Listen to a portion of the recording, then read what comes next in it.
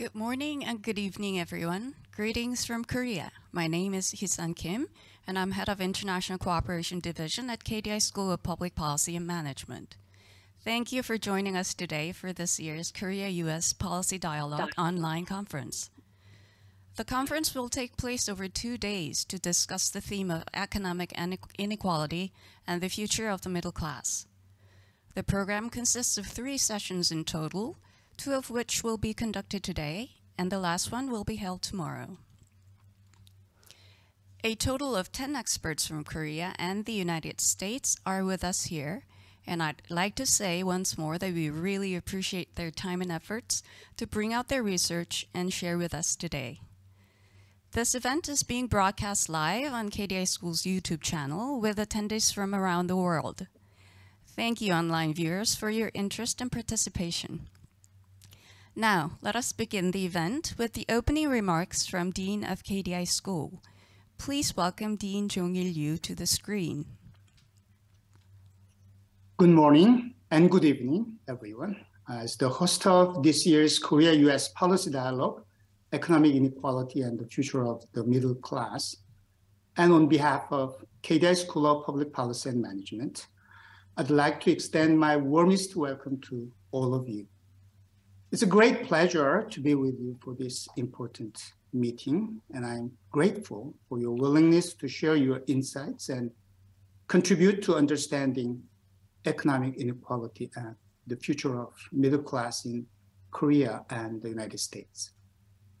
Uh, KDI School has been hosting the US uh, Korea Policy Dialogue since 2020, promote uh, scholarly exchanges and discussions on pressing issues that are of common interest to both countries. The first policy dialogue was held in Washington, D.C. It was a face-to-face gathering right before the outbreak of the pandemic. And we discussed trade protectionism and changing global value chains. Last year, we had a virtual gathering uh, to discuss political polarization that have been afflicting both countries recently. The importance and timeliness of this year's topic, economic inequality and the future of middle class, couldn't be overemphasized. Although the more immediate issues concerning the pandemic and the war are grabbing our attention lately, the inequality problem is equally, if not more, important and in some ways more fundamental.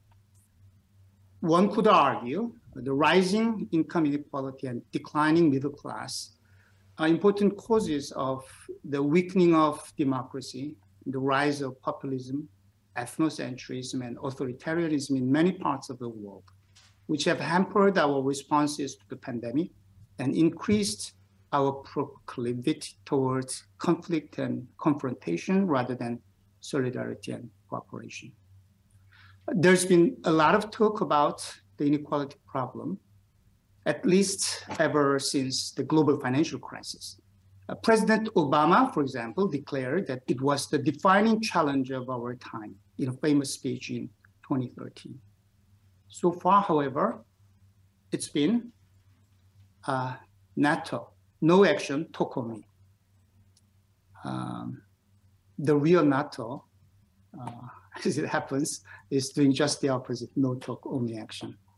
And the problem has been made considerably worse by the pandemic. Unless we find effective cures to the inequality problem, we are likely to see the public's trust in our governments and institutions continue to decay, debilitating our ability to combat any future crises.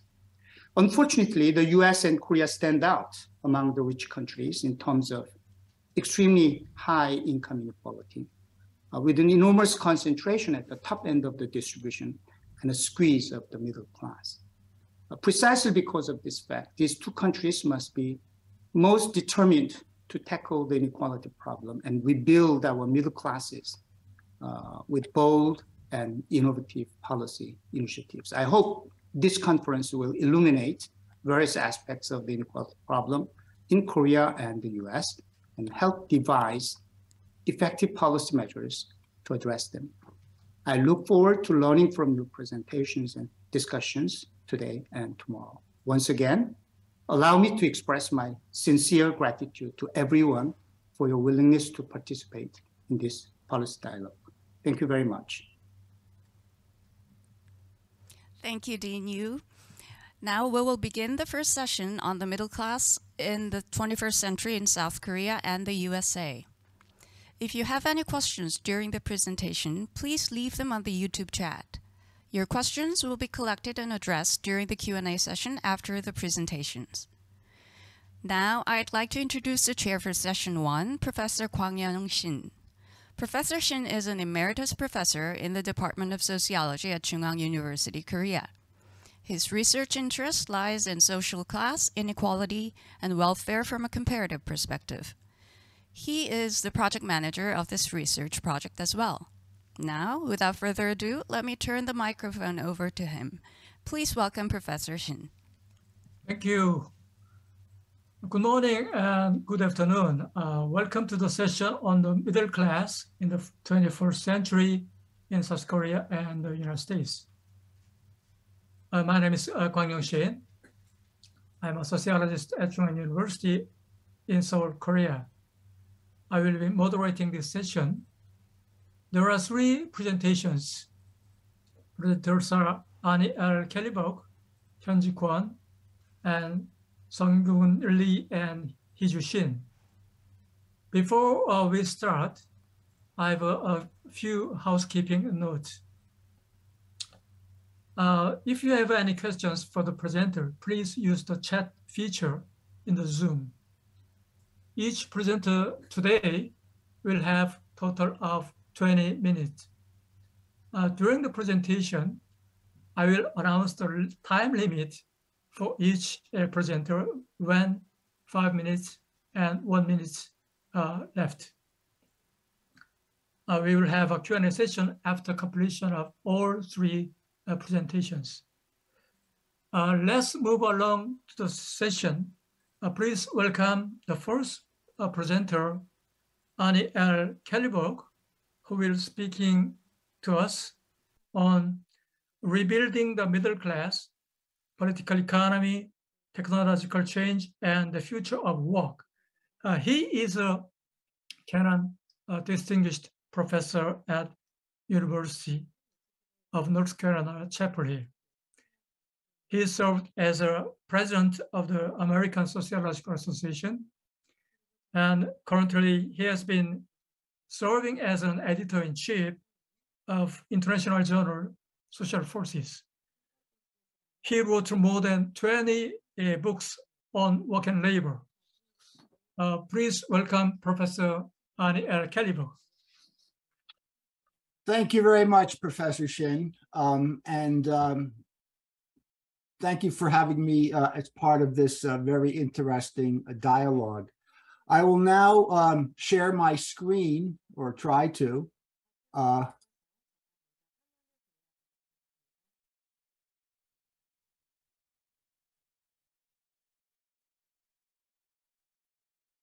could everybody, no, they don't see it yet.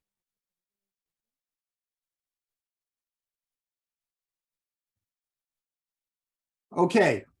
Um, everybody see that? Okay. Yep. So the, the title of my talk, as Professor Shin said, is Rebuilding the Middle Class, Political Economy, Technological Change, and the Future of Work. And I'm going to divide my presentation into three parts. Uh, first, I will provide an overview of the American middle class, focusing on the period since the 1970s, which, is the time when the middle class in the United States started to stagnate. I will then discuss various explanations for this stagnation, and this will lead to um, the, my final part, which is to talk about policies for rebuilding the American middle class, many of which policies are relevant to Korea as well. Um, before I do that, though, I should point out that it's very difficult to define the middle class, uh, and uh, it has always been that way. Um, sociologists have always uh, found it a bit of a difficulty identifying the boundaries of it. Um, a nice quote that I've got from Mauro Guillen in his book uh, 2030 uh, talks about the middle class as being that large segment of people who are neither affluent nor destitute. Um, he argues that um, our modern understanding of the middle class goes back to uh, a British government report from 1913, which defined it as people who are neither upper class nor traditionally working class. Uh, and since then, what's happened um, in Western countries has been broadening this idea of what the middle class is. Uh, and it has been in the last 50 years or so, there's been a, a shrinking of the middle class. Uh, I should also note that uh, middle class could be defined uh, not only as an objective uh, characteristic, which I will do, I will define it mainly in terms of income, but it also is a feeling, a sense that you um, are um, full of possibilities and that you um, have the opportunity uh, to uh, achieve upward mobility. So it's a feeling as well as a um, uh, a objective state, and uh, I believe this subjective aspect of things will be something that speakers will talk about tomorrow. So the first point I wanted to make here is represented by this slide, which shows that um, in the United States, it was it was the period of the late 1970s when there started to be a um, a dis, uh, the the the the where the productivity of of the country, which is measured in GDP per capita, uh, the middle class, which I'm defining here as the middle 40%, started to not keep up with the rate of productivity. On the other hand, the top 1% of, and these are market incomes of working age adults in the United States. So it's basically a labor market kind of approach. I'm not looking at households here because my focus is mainly on work and uh, and jobs. But but basically, since the late 1970s, what you've had is the uh, the top one percent and the top one and the top 10% have obtained incomes that were larger than the productivity in the country, whereas the middle class has not kept up with productivity gains. Uh, in fact, um, since this period here, it's really for the last uh, 30 years, it's been fairly constant, stagnant, and it has not kept up with economic growth. Uh, though the middle class, the middle 40%, does have uh, advantages over the bottom half of the uh, way of the income distribution. Uh, and all of this is to say that there has been a growing inequality in incomes in the United States, whereby the middle class um, has been uh, disadvantaged with regard to the top 10% though it has been dis- has been advantaged with regard to the bottom 50%. Now, so therefore, that's the big picture. Middle class uh, has been stagnant in terms of income uh, since the late 1970s in the United States. Um, I will now uh, provide you with a sort of a breakdown, uh, what we might call the structure of American wage inequality. And now I'm shifting to wages. Um, and I should say that uh, uh, any definition of the middle class is got to be to some extent arbitrary uh, because uh, many definitions do abound. This is a um, a way of breaking up the uh, wage structure in terms of uh, labor market segments that I uh, have worked on with co- an economist colleague of mine, David Howell. uh, who teaches at the New School uh, in New York City. And basically, uh, what we did was um, was to define a fundamental boundary between what we might call the decent wage segment and the low wage segment. Think of this as the primary sector of the labor for, uh, labor force, and this is the secondary segment of the labor force. Uh, this cutoff here, the decent wage cutoff, is two thirds of the mean wage for full time workers uh, in this particular year. I'm focusing now on prime age workers. Um, and so uh, this is cuts off as, as two thirds of the mean wage. What differentiates the bottom, the very bottom of the labor force, uh, uh, from from what we might call the uh, upper uh, contour of the secondary labor market uh, as uh, as two thirds of the median uh, income for uh, wages for uh, full time workers, and this cutoff here is up to fifty percent of the um, of this decent wage cutoff. So basically, what we've done here is divide the labor force into these four groups. Um, you can combine these two middle groups um, and uh, without much loss of, and this is what I would consider to be the middle class, the second and third uh, contours here. Now, uh, while this is based on wages, I should point out that uh, non-wage quality of jobs uh, shows uh, no meaningful compensating wage differential or differentials. And what happens is that these kinds of jobs are not only disadvantaged with regard to wages, but they're also disadvantaged with regard to other qualities of jobs. For example, um, uh, these kinds of jobs, the, the top and the top versus the, the bottom, uh, differ enormously in the degree to which they're provided health insurance from their employer which is a big factor in the United States, given that we do not have a system of, um, of universal uh, health care at this point.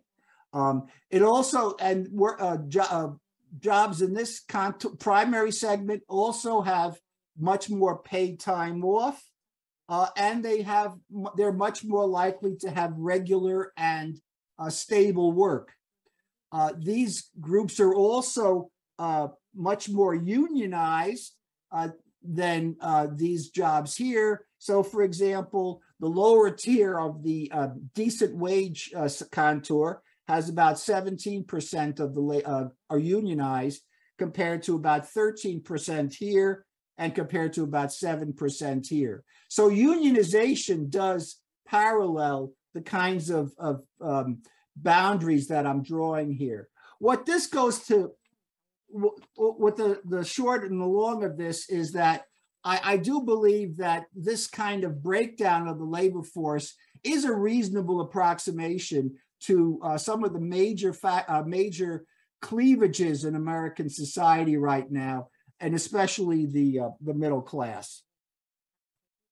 Now, if we look at um, uh, trends in the uh, in these four contours over time, what we see is that the, the dark blue bars are the the best the best jobs the upper primary jobs uh, and they have remained fairly constant over this period at about 33% of the labor force the lowest uh, the lowest contour which is the yellow bars um, have also uh, been fairly uh, within a narrow band, about 25 to 28% of the labor force. And so the top, the best jobs and the worst jobs in the American economy have remained relatively stable in terms of relative wages. Uh, and so has the middle class has remained about 40% uh, of the labor force during that period. But what's happened is that the composition of the of the middle class group has changed a bit Whereas, and this is the um, the upper, the, the lower part of the primary market, uh, jobs that are what, what have been called the subordinate primary market, jobs that are fairly semi-autonomous. We're talking supervisors, secretaries, administrative assistants, and so on, has declined somewhat uh, over time. And there's been an increase in what we might call the lower, um, the lower, the upper part of the secondary labor market has increased. So there's been a sort of a shift in the uh, in the um, in in the composition of the middle class, a homogenization, if you will, between uh, jobs that were um, uh, once uh, better than the others, but homogenization produced by things like automation and and and I'll get that in a minute. So what what's happened over time? So the evidence does suggest that there has been a polarization of the um, American uh, wage structure and job structure over this period. Uh, and uh, it's reflected here nicely in a paper by Rachel Dwyer and Erik Wright, which who basically what they did was they um, they divided the um, the period from 1983 to 2017 into um, into periods of expansion in the labor market uh, and and and recession. So the the the bars going up are the expansionary periods. The bars going down are the um, are the, uh, the recessionary periods. And what uh, we see here is that uh, the and what they did was at the beginning of each period they uh, they divided the uh, job structure defined as occupation by industry uh, cells and took the um, the median income the median income of that cell and ranked them and divided them into three parts terciles and saw and then looked at how those terciles changed over the period. And we see that during the especially during the 2000s there has been a growth during expansions of the top and the bottom terciles. You can see it clearly here. Um, but a not so fast growth in the um, in the middle tercile, which is what I would consider the middle class. Uh, and during the recessionary period of the Great Recession, the middle class jobs actually lost the most kinds of jobs. So this to me indicates that um, there has been a, a fairly robust pattern of job polarization over time in the United States. And I think at this point, it is fairly well recognized that job polarization, and by that I mean the growth in the top and the bottom, and a decline or slower growth in the middle, is characteristic of not only the United States, uh, but many, many uh, other uh, advanced countries. So, to um, provide a summary for my conclusions about the uh, the, the uh, American middle class, what I would say is that uh, the incomes of the top 10% have increased relative to the middle 40%, and the gap between the middle 40% and the bottom has grown. The size of the middle class, in terms of its income shares, employment shares, uh, has been relatively stagnant. Um, but there has been a, a shift in the um, in the composition of the middle class, a decline in the lower tier of the primary sector, and a increase in the upper tier of the secondary sector.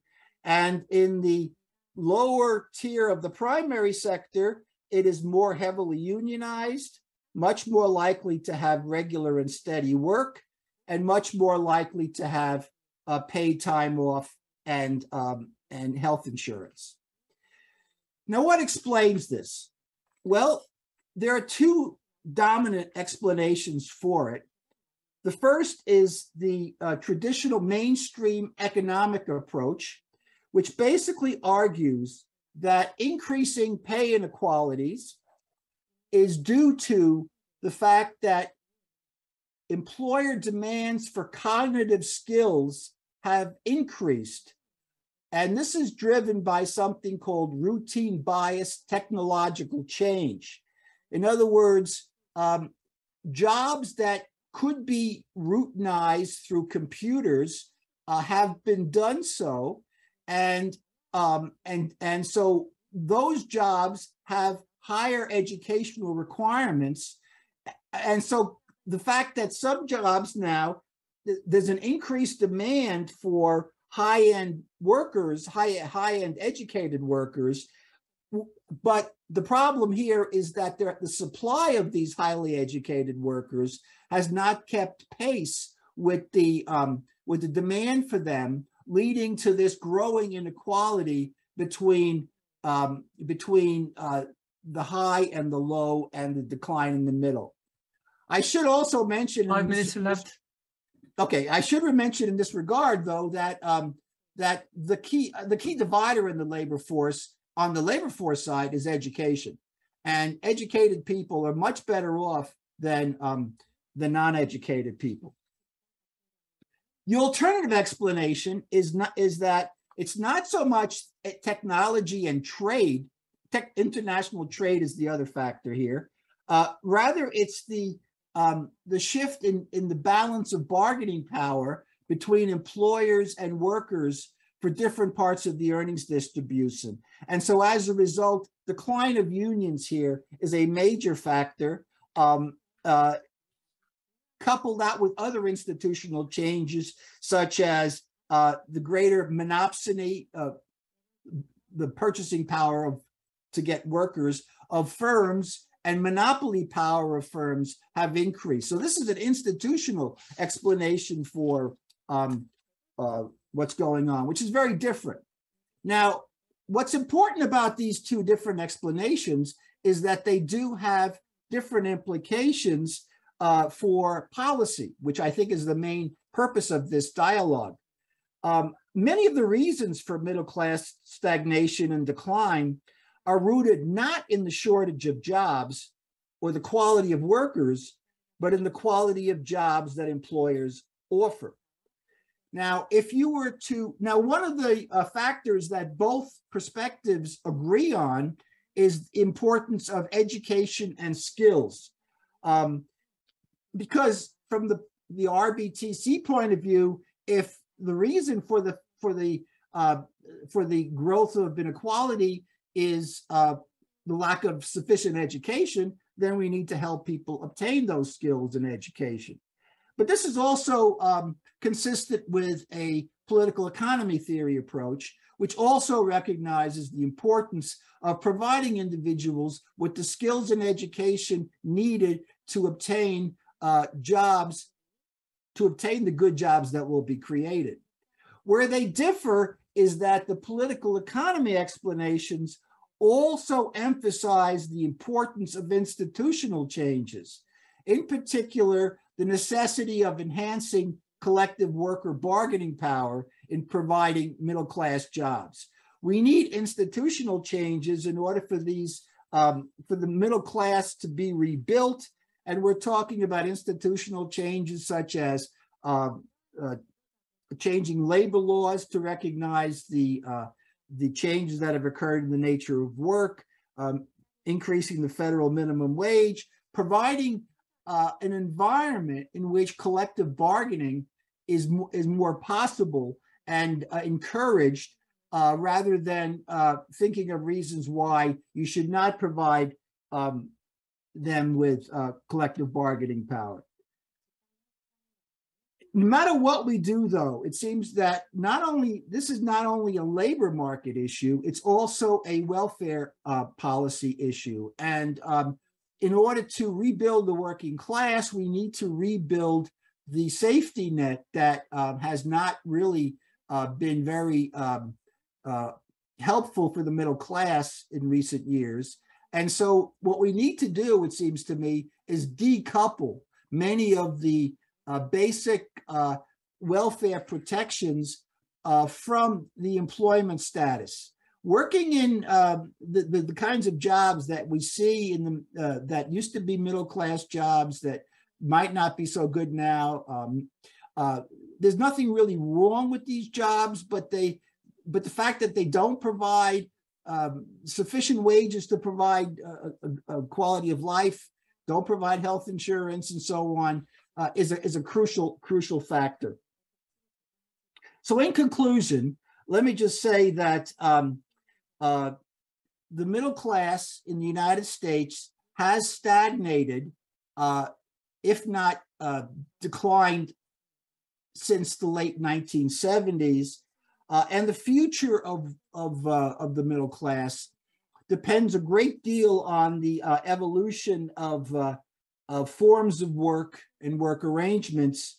Um, trends such as automation, digitalization, um, uh, and technological change and, and this kind of thing uh, are going to be important, uh, but they're not exogenous uh, and they're heavily shaped by uh, political, econ- political economy and cultural contexts.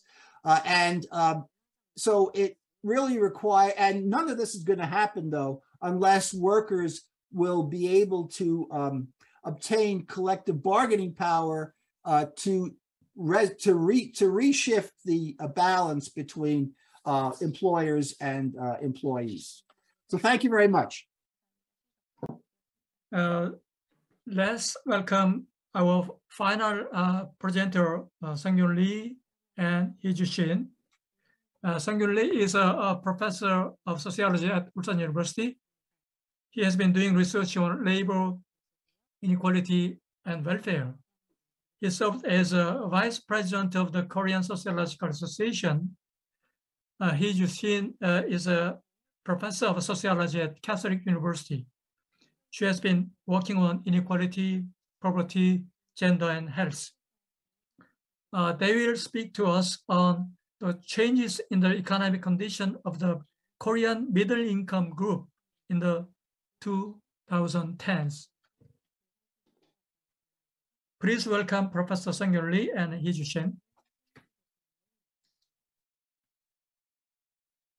So the main focus of my presentation today is whether the middle income group is squeezed in the Korean inequality structure. So first, I will explain why we have examined the middle income group to understand the middle class in Korea as a research background. Second, I will talk about the proportion and economic influence of the middle income group in terms of income share and wealth share, and especially the housing issues of the middle income group. Final one is the answer to the original question, whether the middle income group is squeezed in Korea. In what sense? So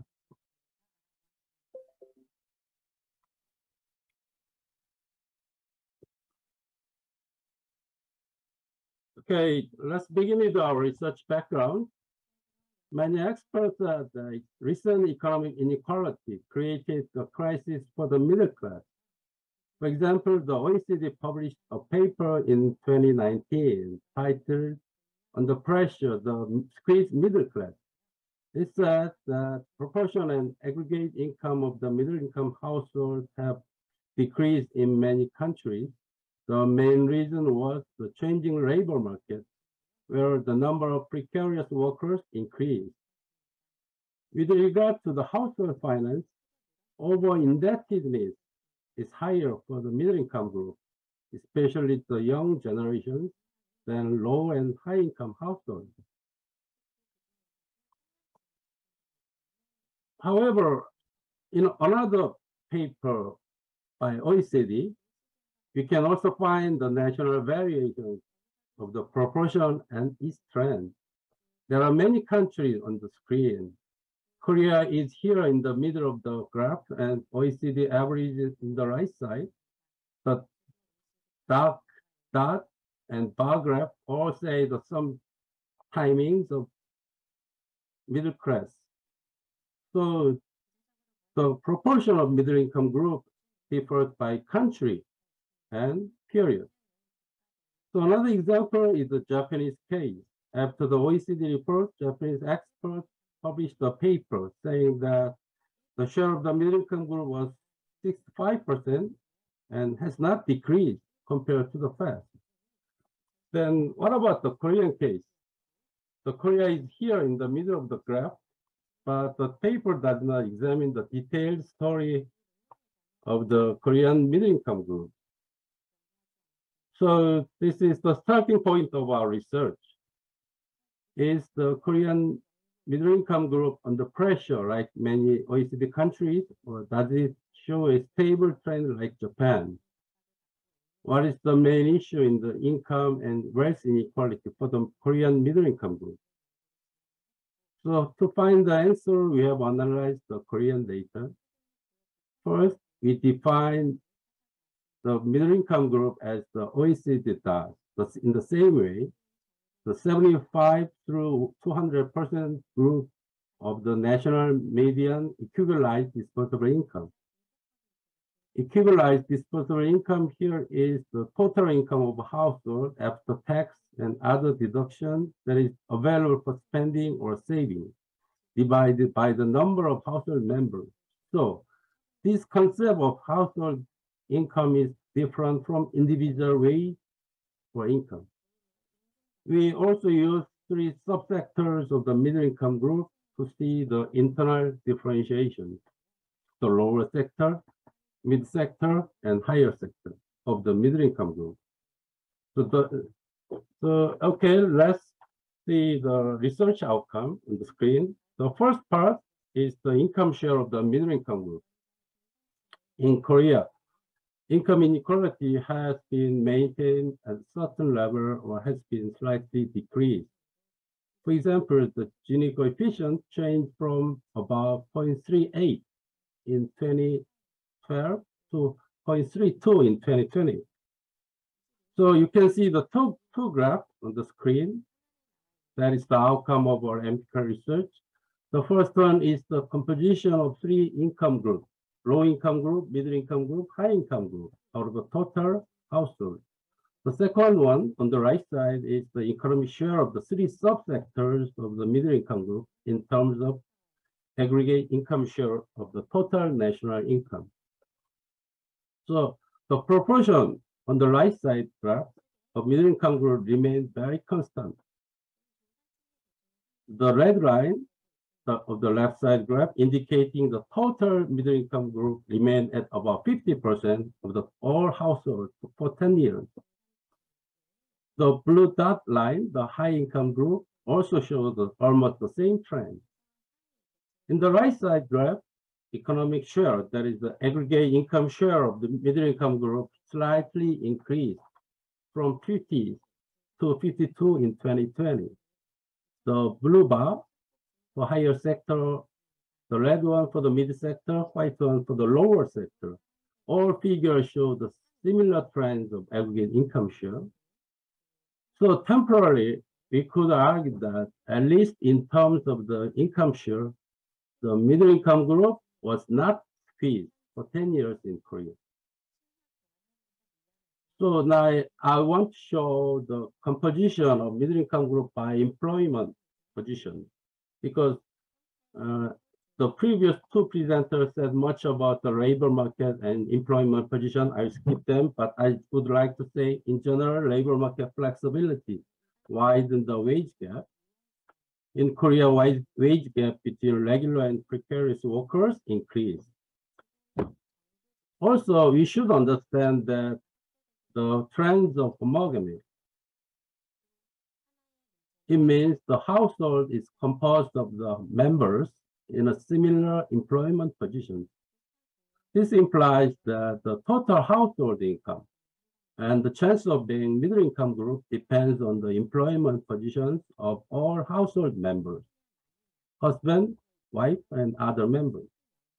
So in the analysis, we made several types of household, but I will show you the, only the six types for clarity. Type 1 is the household with only one regular employee. Type 2 is the household with only one non-regular employee. Type 4 is the household with two regulars. Type 5 is the household with two non-regulars. So we can compare their income gap and the, the income shares. The, the graph on the screen shows the total household income gap by six types. So if you compare type one and two, type four and five, we can find the total household income with regular employees higher than that of the household with non-regulars or contingent workers. So the chance of being middle income group also depends on the household type. The chance is more than 60% in case of household type one with one regular, whereas it is 37% for the household type two. So now let's compare the household type four and five with two regulars and two non-regulars. So comparing the trends of homogamy, we could easily understand the chance of being middle income group and high income group is higher in type four than type five. So one final one to note in the graph is the economic decline of the household with self-employed person. We know the self-employed in Korea is very small size, and their sales, profit, and business income declined in the late 2010. This is why their chance of being middle income group or high income group is lower than the household type with two regulars. So just compare the sum of 38, 5, 57 in type 4 and the sum of 22 and 66 in type 6. So you can compare the household with like regulars and self-employed persons. So another factor to explain the middle income group is the welfare institutions such as pension program for the old age. In Korea, it is well known that old age has much higher poverty rate. In our data, old age poverty continues in the 2010. The low income group composed the majority of the 60s and more. At the same time, the old age poverty rate decreased in the period, and the chance of old age to be middle income group increased in our data. The red one is the middle income group. So the proportion of middle income group in the age of 60s and more was about 30% in 2011, but it increased to 40% in 2020. But at the same time, we, I would like to say most of them are lower and mid sector of the middle income group. So why? Why the proportion of old age increased in Korea in 2010? So I interpret that the main reason was the increase is the income security program for the retired old age. In Korea, the total amount of the public transfer income including old age benefits and poor support benefits, increased 1.4 times in the period 2017 through 2020. The number of the national pension beneficiaries out of the total old age also increased. So as a result, pension beneficiaries had more chance of being the middle income group after retirement. This is why the composition of the middle income group within the old age increased in Korea in the 2010s. But the low replacement rate of pension program led to the increase of old age into lower or mid sector of the middle income group. The, the second part is our research is the issue of wealth inequality for the middle income group. We know wealth inequality is higher than income inequality in many countries. In Korea, Gini coefficient of wealth was about 0.6 in the 2010s. That is two times higher than the income coefficient. In our data, the share of the middle income group has been around 20% of the total wealth. The figures contrast to the middle income group's income share, that is about 50%.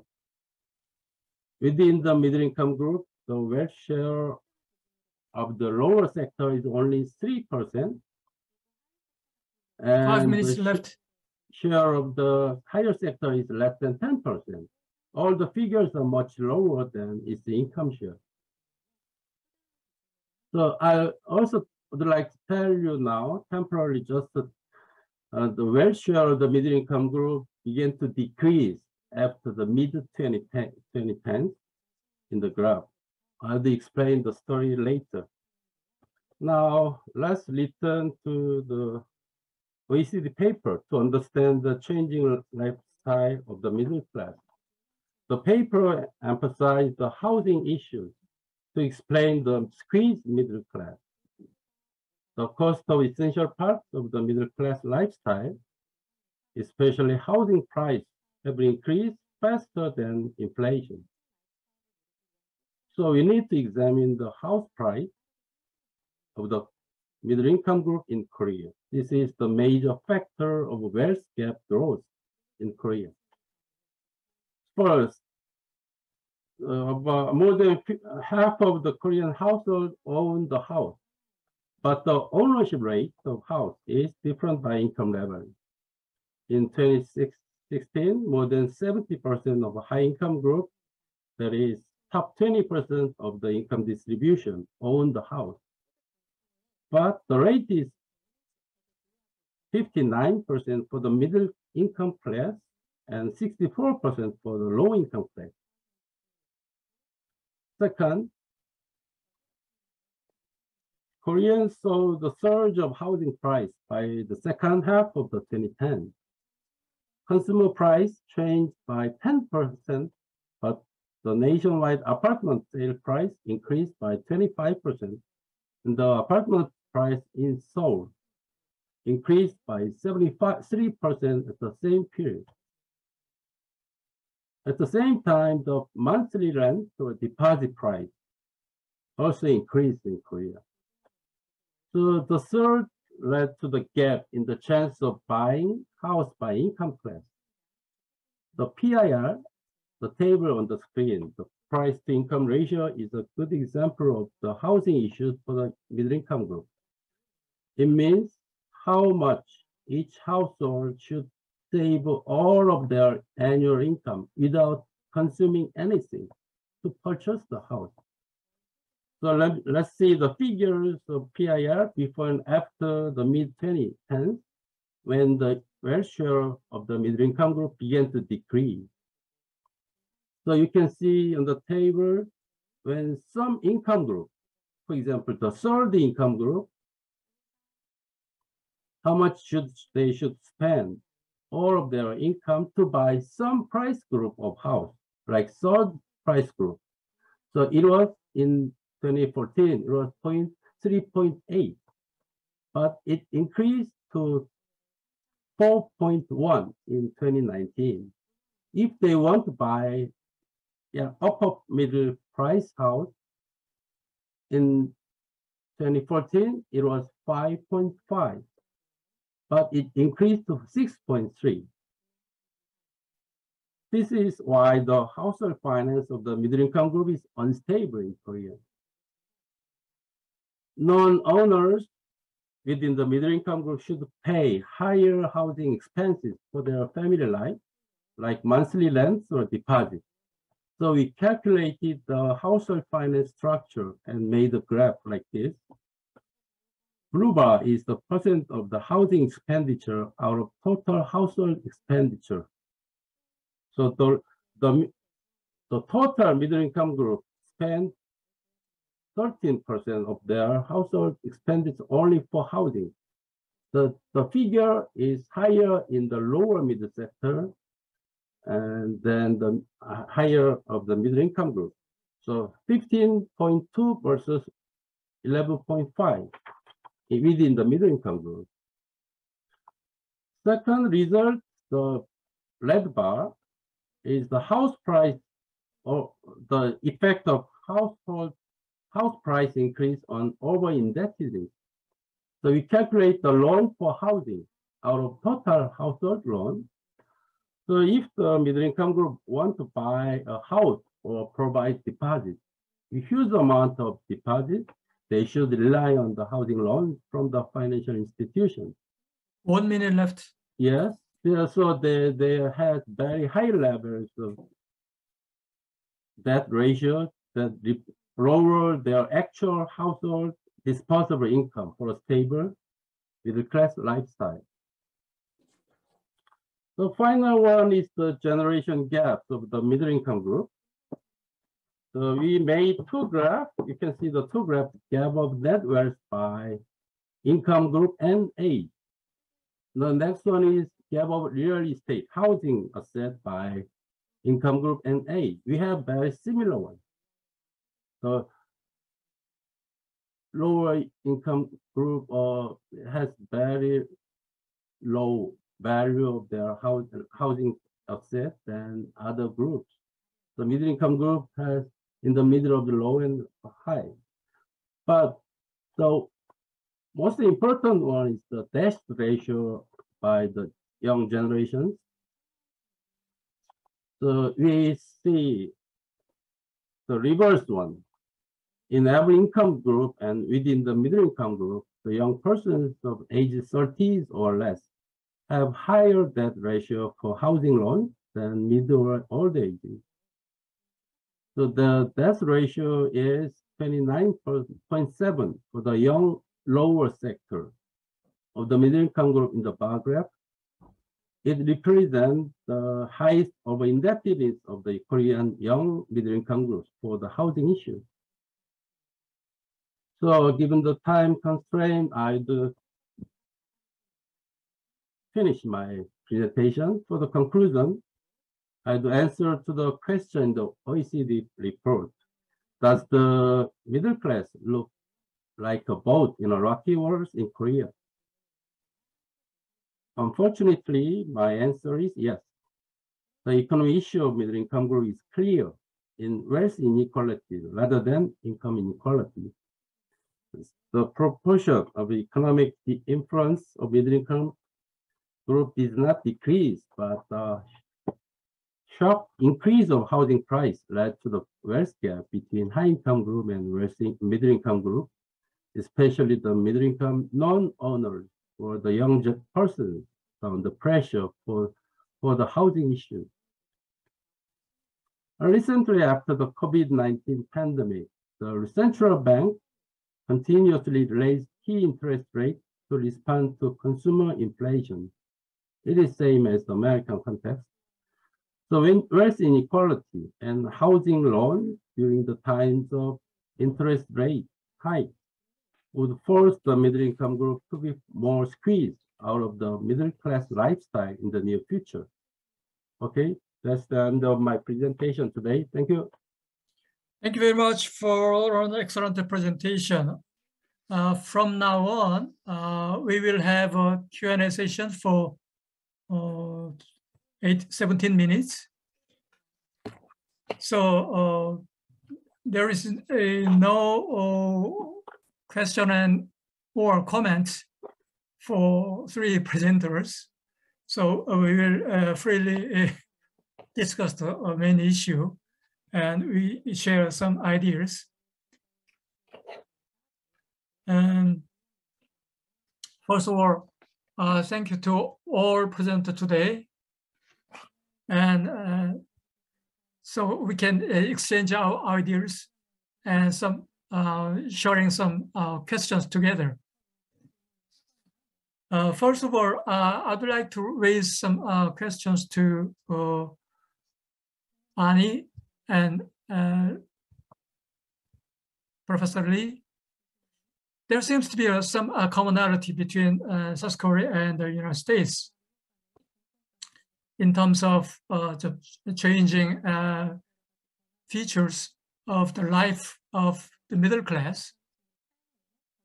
Uh, nevertheless, there seems to be some differences in terms of some scale or degree, and also some um, differences in the issue of uh, housing price.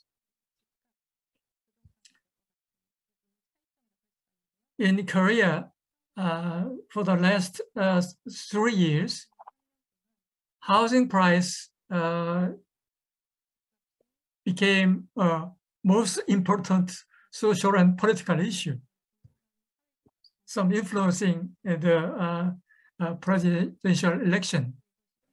So that might happen uh, in, in the United States in 2008 or before 2008, right? So uh, what's the uh, some uh, impact of that kind of some um, housing bubble on the life of the middle class after the fi financial crisis in 2008 in the United States? Well, it has had an impact in the United States too, of course. Um, after the uh, the Great Recession uh, and the and the housing bubble burst, uh, it became much harder to get um, to get loans, um, uh, and housing prices have have increased uh, dramatically uh, in for the middle class in the United States as well. So. Uh, and especially uh, um, and more and more um, people are deciding to rent rather than to buy and rents have gone up as well so this has become a. Um, I, I don't know if it's quite the the had the impact in the united states as it has in korea but it certainly has impacted the uh, ability of uh, middle class people at least to enter the middle class uh, and get started uh, has had a huge uh, effect.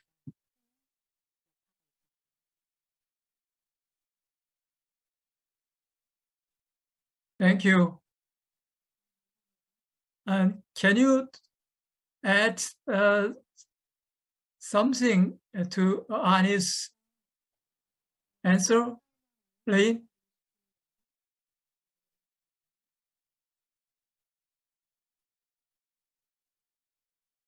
Professor uh, Lane Kenworthy, can you add something? Yeah, I I I fully agree. I mean, it, I, I guess I would just provide one uh, additional little bit of nuance, which is that the housing unaffordability problem in the United States is heavily geographic, geography specific. So it's very much concentrated in the big cities. There are lots of places across the country where housing remains very affordable. And until very recently, interest rates were really, really low. So it was quite affordable. But uh, at the same time, like in a lot of other rich democratic countries, many people have wanted to move into these cities, which are much safer than they were in the 1970s and 1980s. They're much more interesting places to live. That's where a lot of other uh, young people uh, live, and so consequently want to be and maybe most important of all, at least until the COVID uh, pandemic, they were the site of lots of professional analytical jobs, the kind of high paying, interesting jobs that most college educated Americans wanted to end up having. And so, even though in principle, you could afford to, to, to buy a house in lots of parts of the country, they weren't the kinds of places that uh, millennial and Gen Z members, uh, cohort members wanted to to, to live. Let me just add to that, uh, uh, which I totally agree with. Um, the, actually, the COVID p- pandemic has really uh, made it easier because of the ability to telecommute and to uh, ha- has enabled people to move to areas that were um, not as expensive for housing. Uh, uh, and they, they, had, they could move out of the the central cities. And uh, as a result, um, actually, COVID was a good thing in that in that way because it did change the way we work. Uh, and this is probably going to have some sort of uh, um, lasting effect. Okay. Uh, do you expect uh, a change uh, taking place during the COVID-19 pandemic will continue in the near future?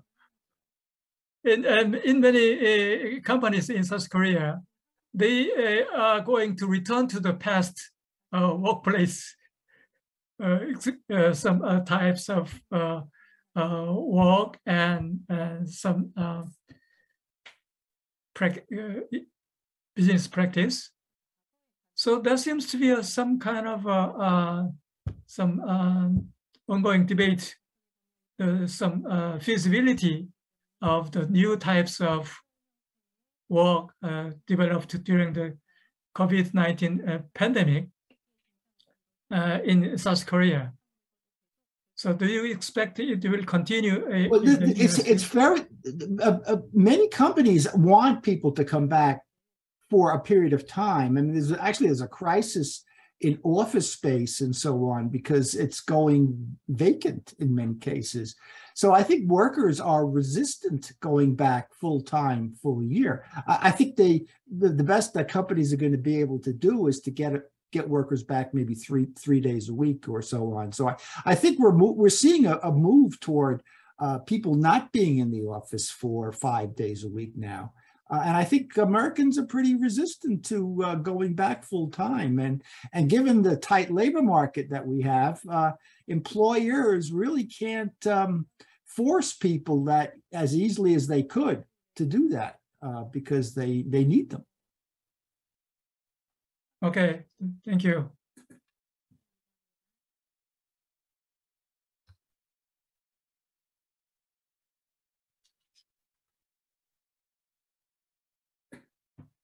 All three uh, presenters, uh, uh, some uh,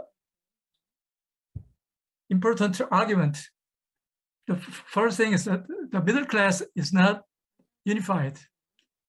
It is diverse and uh, stratified. And then uh, there was that uh, some some utility of the concept of the middle class. Uh, instead of uh, we might use the concept of middle strata.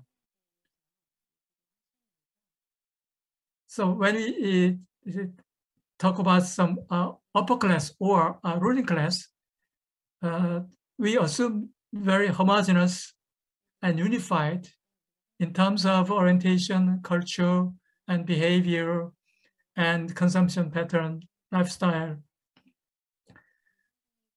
And uh, when we talk about the middle class, uh, we found that middle class is so diverse in terms of income, in terms of work style, lifestyle, and some also uh, within the middle class, there is a gender division and some generational uh, disparity. So many diverse, uh, some uh, heterogeneity. So how can we uh, uh, justify when we use the term middle class to identify or to find out some a trend of a social change. So it's, it's a kind of a conceptual or theoretical issue. We don't have a proper uh, some term to uh, depict some middle strata. So we commonly used the term the middle class, right? Sometimes. So it sometimes uh, produces uh, interesting uh, some uh, questions about the uh, utility of the term of the middle class. Yeah, I, I, I think that's that's right. I mean, uh, I'm not sure if the the term middle class ever was all that useful. I mean, it was always defined in relation to the two extremes, and uh, uh, it's it's so. But I, I I think middle strata is really more apt uh, in many ways. Uh, Okay, it's a uh, some perennial issue among sociologists.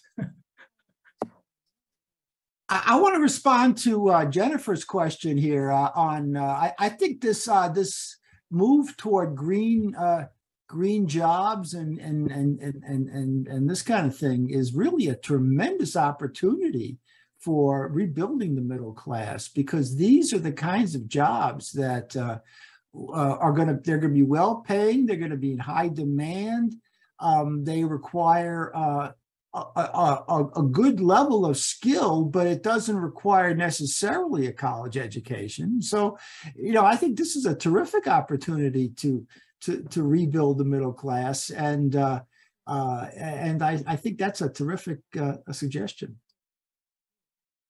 Well, I guess I'm not sure whether there is a particular government policy about the transition yet, uh, because you know the government policy is really concentrated, or maybe they actually misunderstood the opportunities. Uh, they are actually kind of taking it as a recon, uh, restructuring kind of you know uh, policy. Uh, they want to kind of save the uh, people who are actually dropped by the transition. Um, so there is not much kind of you know positive um, you know, or in, in, in I'm sorry, institutional engagement in the transition, uh, you know, by the government, uh, you know, taking place.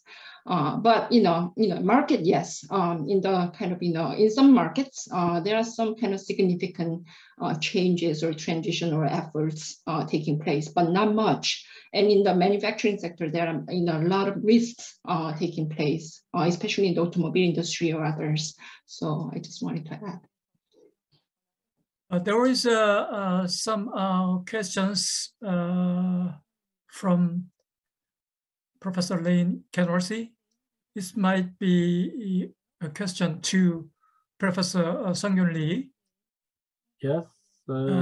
he wrote that from the two presentations on South Korea, the key policy challenges is to make housing more affordable. Is that right? Yes. What else uh, would you suggest? Yeah, housing issue is very important to the middle income non-owners. So the key of the policy is providing huge amount of house with affordable price.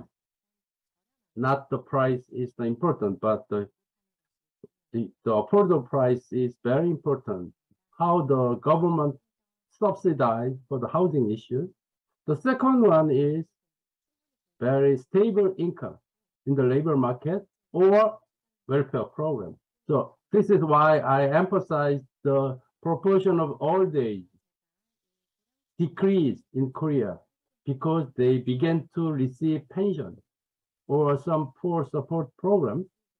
So if they continue their income from the government, like welfare institution, they could manage their life this is another aspect of their life, middle class life. So in the public sector, housing issue is very important. In the labor market or some welfare institutions, we need to provide more basic or universal welfare benefits to the population. Okay, uh, time is up and uh, uh, thank you uh, to all presenters today and uh, thank you for attending this session. Uh, from now on, I'd like to uh, wrap up.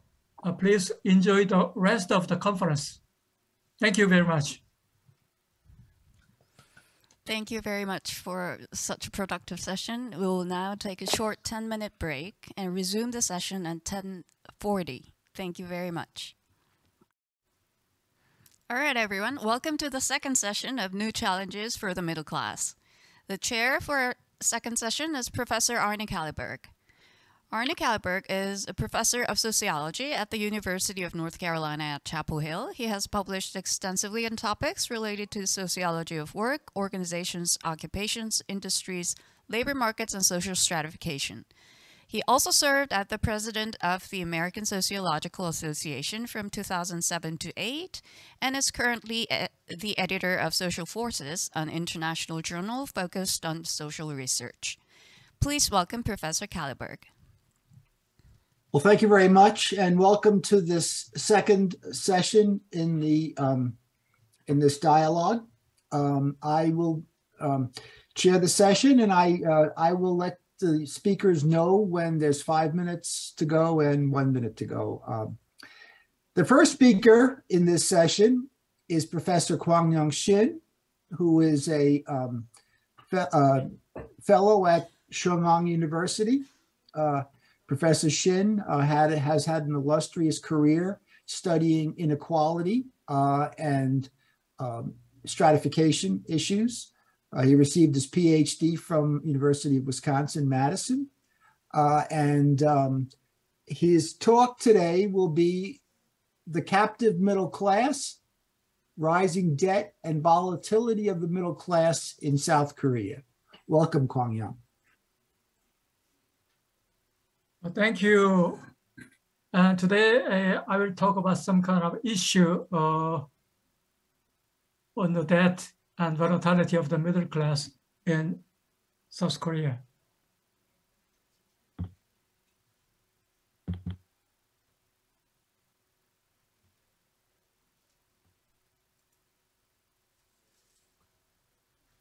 Uh, first of all, uh, I would like to talk about some conceptual uh, issue on the middle class. Uh, as the previous uh, presenters discussed, the concept of middle class uh, is not so clear. nevertheless, it is a, useful term to describe some social changes. Uh, in sociology, a work-based approach has been uh, predominant. And uh, John Goldthorpe, Erik Wright used the concept of uh, the middle class based on uh, work relations. In uh, economics, income-based approach has been dominant as Professor Sungkyun Lee uh, described uh, in the previous session, OECD uh, used the uh, income as a basis for uh, the middle class. And so uh, the issue is not some kind of conceptual issue, but rather empirical issue where to uh, cut the lower uh, limit and upper limit of the uh, middle class. So OECD defined the middle class ranged from 75% of the median income to 200 of percent of the median income. Some other economists used the lower cut cutoff to 75 and the upper uh, cutoff to 100 25% instead of uh, 200. So uh, it's a matter of some uh, cutting point. Uh, recently, uh, Thomas uh, Piketty defined the middle class from the perspective of wealth or property. He identifies the middle class as the middle 40 between 50 to 90% of income distribution so the definition of the middle class uh, varies a lot according to uh, the disciplines and uh, scholars. So it depends on uh, some um, also uh, some researchers' uh, definition and purpose for using the concept of the middle class. I will rely on uh, income to discuss the middle class for two reasons. Uh, one is some occupational status does not fully uh, uh reflect economic well-being uh, due to the rise of non-standard employment. Another is the rise of a non-working population due to aging. The rapid growth of elderly alter the income distribution in South Korea. Thus, we find some limitation in the discussion of inequality if we focus on working population only. Therefore, the unit of the middle class is not individual working in the labor market, but household are living together. Uh, traditionally, uh, sociologists assume the alignment of occupation, income, and social status. However, uh, we have observed increasing de-alignment or a decoupling between occupation and income, between employment and social status due to the increased revenue from other uh, than work. So I will focus in this uh, presentation on the debt of the middle class. Indebtedness of the middle class become a new social problem as the interest uh, skyrocket, personal bankruptcy, and shrinking uh, middle class might be uh, expected.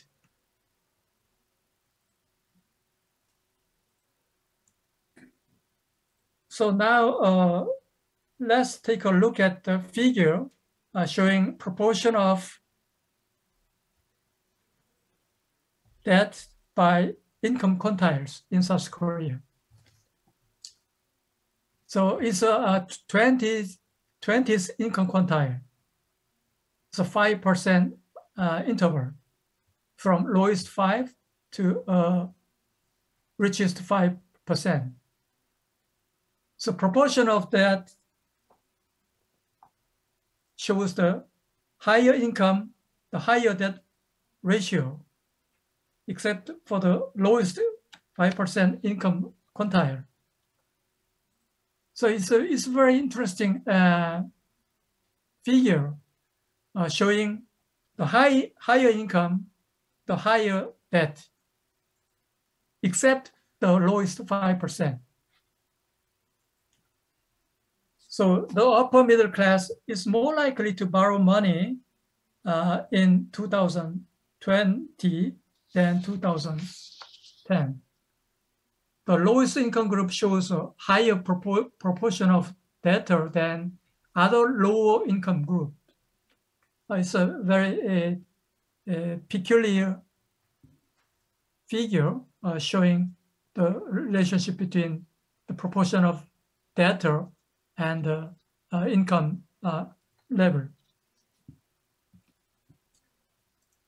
uh, this figure shows the household debt to disposable income ratio across OECD countries.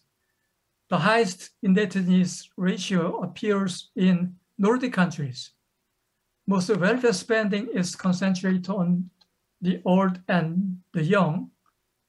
People take in, into more debt when they are young they need more expenses in education, housing, and child caring. They pay off when they grow old.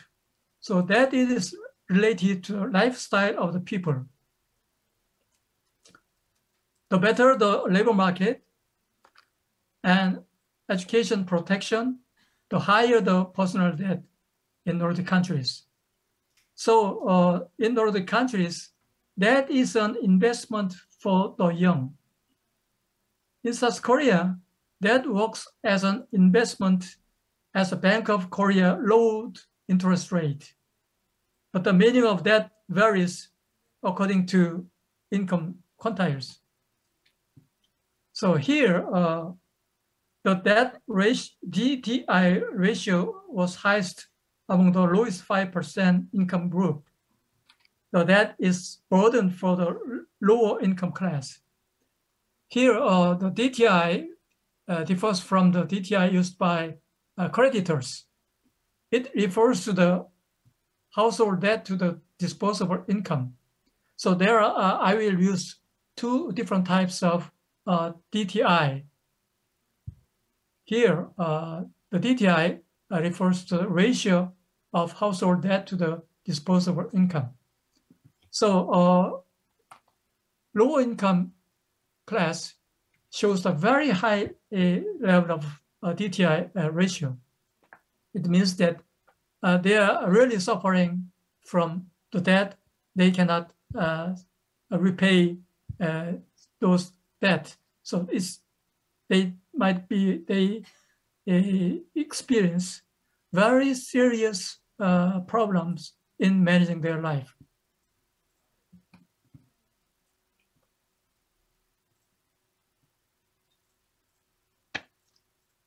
The next figure displays that the DTI ratio diminishes as income increases.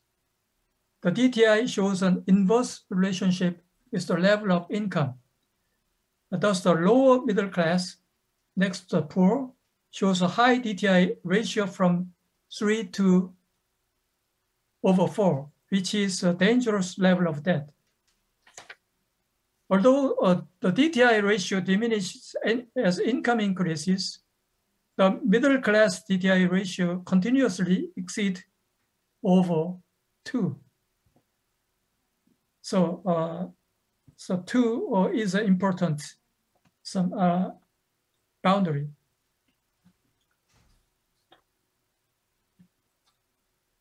The middle class has taken uh, more debt from uh, 2010 to 2020. Uh, in, in particular, the upper middle class shows a higher rate of debt than the lower uh, middle class. However, the usual uh, debt income used by financial institutions indicate the lower middle class shows more vulnerability than the upper middle class. The usual definition of DTI is a ratio of repayment amount to disposable income.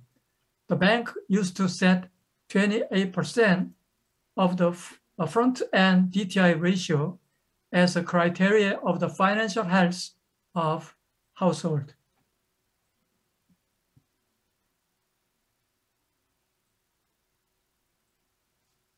Uh, the following figure uh, portrays the subjective, let's see. Uh, this figure uh, shows the subjective evaluation of difficulty in repayment. Uh, remember that the gray line represents 2020 when the interest rate was lowest in Korean history. Uh, nevertheless, more than 20% of the lower middle class responded as experiencing difficulty in repaying the debt. The interest uh, rate set by the Bank of Korea last week was 2.5%. Uh, it was 20% in 1998 when South Korea experienced a financial crisis. Uh, we expect the interest rate will rise much higher than 5% soon. The lower class will be damaged immediately, uh, mostly, oh, sorry. Mostly they are old with low income. Uh, here you can see the average age by income quintile. Uh, low income uh, we can identify the average age is around uh, 70 and uh, mid 60. So, uh, so elderly people in South Korea might experience very serious problem of poverty according to uh, this uh, figure. So uh, mostly they are old with low income. The average age of the lowest 5% of income quintile is almost 70. The lower middle class also will be damaged since the average age is much higher than the upper middle class. It implies that lower middle class does not have much financial capacity because their average is close to 60. The income grows to the peak at 50 and drastically fall after that in South Korea.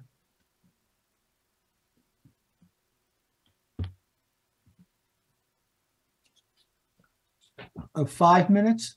Okay. The middle class uh, debt uh, is related with housing uh, related debt. Housing uh, related debt includes debt for buying or renting houses or rooms. The upper middle class is more likely to get into debt than the lower uh, middle class in terms of housing related debt. I did a Tobit regression analysis to identify a determinant of debt. So effect of demographic factors on debt has declined. Educational uh, disparity has been expanded. occupational effect on debt is negligible. And there is no significant uh, difference between regular and non-regular employment. However, uh, income effect on household debt is getting larger. Middle income class is more likely to get into debt than the lower income class. Here, it, we can uh, see that debt is considered as a leverage rather than burden for the middle income class. There is a strong and persistent wealth effect on household debt. So you can see uh, some uh, effect of income and wealth on household debt. When we consider current development in the financial market, the middle class will be engulfed by dangerous current, a housing price crash and giant step of interest rate hike.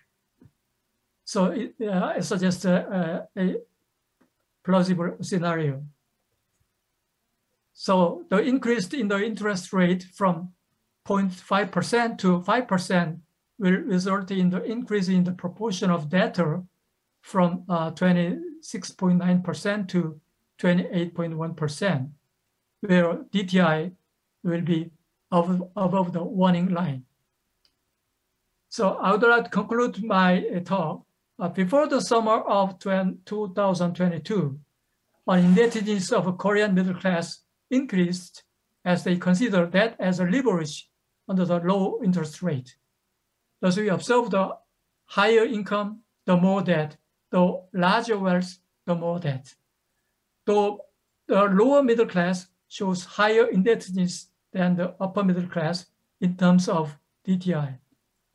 Low middle class might suffer from the burden of repayment uh, due to the rapid rising interest uh, it will continue for a while. That will speed up the shrinking middle class, generating further social polarization and pushing the lower middle class to the lower class. Uh, that's my all uh, thing to say today. Thank you very much. Uh, thank you very much, uh, Kwang Yeong. That was a very uh, helpful discussion. Um, our next speaker is uh, Professor Lane Kenworthy. Um, Lane is a professor of sociology and Yankelovich Chair in Social Thought at the University of California, San Diego.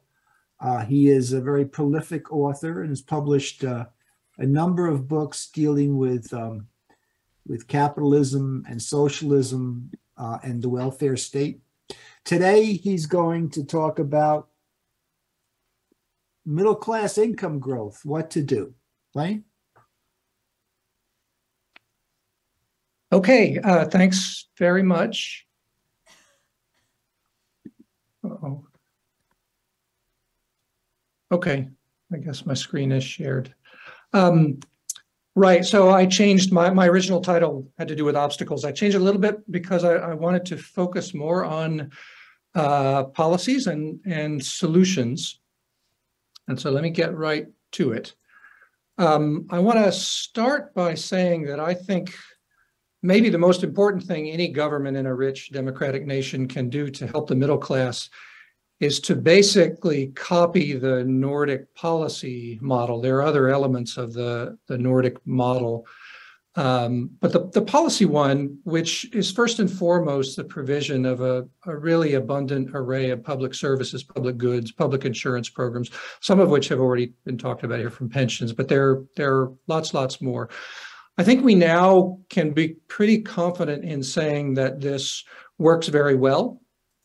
It uh, boosts living standards up and down the distribution. It seems to enhance economic security. It's good for equality of opportunity. Doesn't solve that problem, but it's it helps. It's probably good for happiness or life satisfaction. And all this is doable without the kinds of trade-offs that uh, that lots of people have worried about uh, for the last 50 years or the last 150 years. First and foremost, innovation and, and economic growth, but also things like government debt. Um, okay, so that that's a, a really good thing to do. And it makes wages and incomes less important. It doesn't render them irrelevant, but it makes them less important. However, uh, I do think that we we care about incomes as well. Certainly, middle class households will, even if you've got that kind of um, uh, ideal uh, Nordic policy model in place. Um, as a kind of rough approximation, I think we should we should want middle class incomes to grow roughly at the same rate as GDP per capita. That's not handed down from God or from Adam Smith or Karl Marx or anybody like that, but we know it's doable. And as a kind of rough uh, guidepost, uh, I think it's pretty sensible. Uh, I'm going to focus here on the United States, but I, I, think there are implications well beyond the, the US experience. Okay, so he, here's the problem, and, and Arne Kalleberg uh, outlined it nicely, I think, in his presentation. Others have alluded to it already. Since roughly the late 1970s, there's been a confluence of developments that all kind of came together roughly at the same time that have simply made it harder to achieve middle class income growth in a stereotypical affluent democratic nation. It's uh, it's technological change, it's globalization, it's heightened product market competition, which is partly a function of those two things, but also is separate, has to do with falling barriers to entry and things like uh, low-end services, especially retail. It's in some countries a turn to a so-called shareholder value orientation in corporate governance, so that management cares more about uh, about rising stock prices than it does about workers or, or other stakeholders. Um, and its higher unemployment rates, uh, a function mainly, at least until very recently, of central banks worrying about what happened in the late 1970s, early 1980s with the explosion of inflation. And hopefully we're not going to have another 40 years of the, the same um, prioritization of, uh, of keeping inflation low, but, but who knows, we'll see. So all of this has increased companies' incentive and also ability to resist pay increases for workers up and down the distribution, but especially those in the middle and below. And so the, the result in a country like the United States, and I, I, think, and I'll show you in a moment, uh, there's some evidence that this is true in others, where labor unions are weak or weakening, has been stagnant pay and slow growth of, of household incomes for the middle class. So here's the pay picture in the United States. This is just the median adjusted for inflation hourly pay. Um, and you can see that there's been very little uh, increase. Uh, we've got good, reliable comparative data on this going back to 1973 from a, a, constant data source. There's some some other data sets you can use if you want to go back for further in time. But with the exception, and I'll come back to this of, and I'm just going to highlight, I don't know if you can see this, the late 1990s and the late 2010s, uh, there's been essentially no growth in, in pay.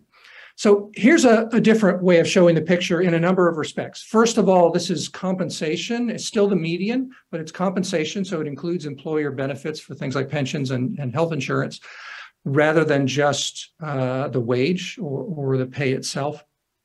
Second, uh, I've got data here for many of the other affluent democratic nations. South Korea is not on here just because I also want to show economic growth and the relationship between these two things. And South Korea would be way off the charts here, like Ireland. would. So Ireland's also is not in this graph. But so um, the economic growth rate, growth of GDP per capita is along the horizontal, median compensation along the vertical, and the line here is just a 45 degree line. So it's showing. Uh, Excuse you know, me, how, but Lane, excuse me, but the, your slides aren't moving. Oh, shoot. Okay. So let me see what's happened here. Let me just stop the share and then try it again.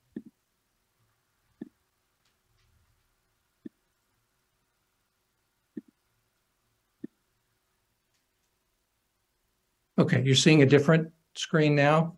Yeah, okay, I can see it good. Uh, so that was the median hourly pay that I just showed you. This is the one I was just getting to. Um, okay, economic growth, growth growth rate of GDP per capita. Um, this is because of limited data. This only goes from 1995 to 2013. Economic growth is on the horizontal, median compensation growth is on the vertical, and the dashed line here is a 45 degree line. So if a country's on the line, that means that median compensation growth has been at, at the same pace as economic growth. Um, and what you see is the Nordic countries, so Sweden, Finland, Denmark, Norway, they're all right around this line. Um, all of those countries have strong labor unions. France and the Netherlands are pretty close. Bel sorry, Belgium is also on the line. Um, those five countries, the four Nordics and Belgium, have uh, unionization rates that are still around 60, 70, 80%. France and the Netherlands, they're much lower now, but they have a compensatory mechanism such that uh, wages that are set, wage agreements that are set in the unionized share uh, essentially um, uh, apply to most of the rest of the workforce. Those two countries also are either on or pretty close to this 45 degree line. The UK is kind of an exceptional country here because its best period over the last 40 years just happens to coincide with the limited years of data here, 1995 to 2013. All the other countries are below, and in many cases, well below the line, suggesting that growth of middle class compensation hasn't kept up with economic growth. And the United States is one of these. As I mentioned before, South Korea isn't isn't on the chart here just because it would be way out to the right in terms of economic growth, and you wouldn't really be able to see most of the rest of the countries. Okay, that's a second way to, to see the picture. Here's a third going back just to the United States. And this is a little bit like one of the charts that uh, Arne showed earlier. This is um, median income growth and GDP per capita going further back in time. So back to the, the beginning of where we've got good comparative data for the United States, right around the end of World War II. You can see the two things track pretty similarly up until the late 1970s, and then they begin to diverge. This is a pretty familiar chart that many of you have will have, have seen before. GDP per capita continues to grow at a slightly reduced but pretty similar pace, but now median income, and this, this would be true if we used household income too. We just don't have as long a data series for households. Um, so median income begins to fall behind. It grows, but not nearly as rapidly as the economy. And I'm going to, for time reasons, just skip over that chart. I can come back to it if you want. These are the, the potential solutions I'm going to consider. Uh, I'm not going to read this now because uh, I'm going to go one by one through these. These are ones that I think are less likely to work. These are ones that I think are maybe more likely to work. This is just my take uh, based on what I see in the data and the experience of the United States and other rich countries. Uh, I'm going to also for time reasons. I'm just going to skip over wealth and borrowing here. I'm happy to come back to it. I don't think either one are, are a, a good solution or a good substitute, I should say, for middle class income growth. It's not that they would be bad. Uh, they can help, but they're not really a solution. So ultimately, I think the, the most important explanatory factor that separates these countries and I, I, I, already talked about this when I showed you that chart of economic growth and median compensation growth, is the strength of labor unions. These countries all have kind of similar pressures. It's not that there's no differences between them, but globalization, automation, to some extent shareholder value, to some extent easing of barriers to entry in services and therefore heightened competition, all of these changes in uh, economic circumstances or economic conditions apply more or less similarly across most of these countries. One of the things that differs the most is the strength of, uh, of labor unions. So if you could get stronger unions, uh, you, you might be able to go a long way toward uh, addressing the problem of slow pay growth and, and therefore slow income growth for the middle class and below.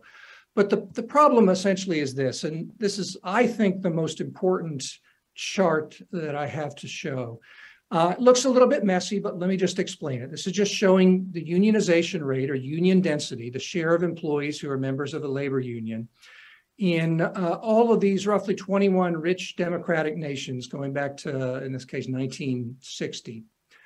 And what we see, I think, are, are three different patterns. So one is the five countries that I mentioned before, the four Nordics and Belgium. These are the so-called Ghent countries.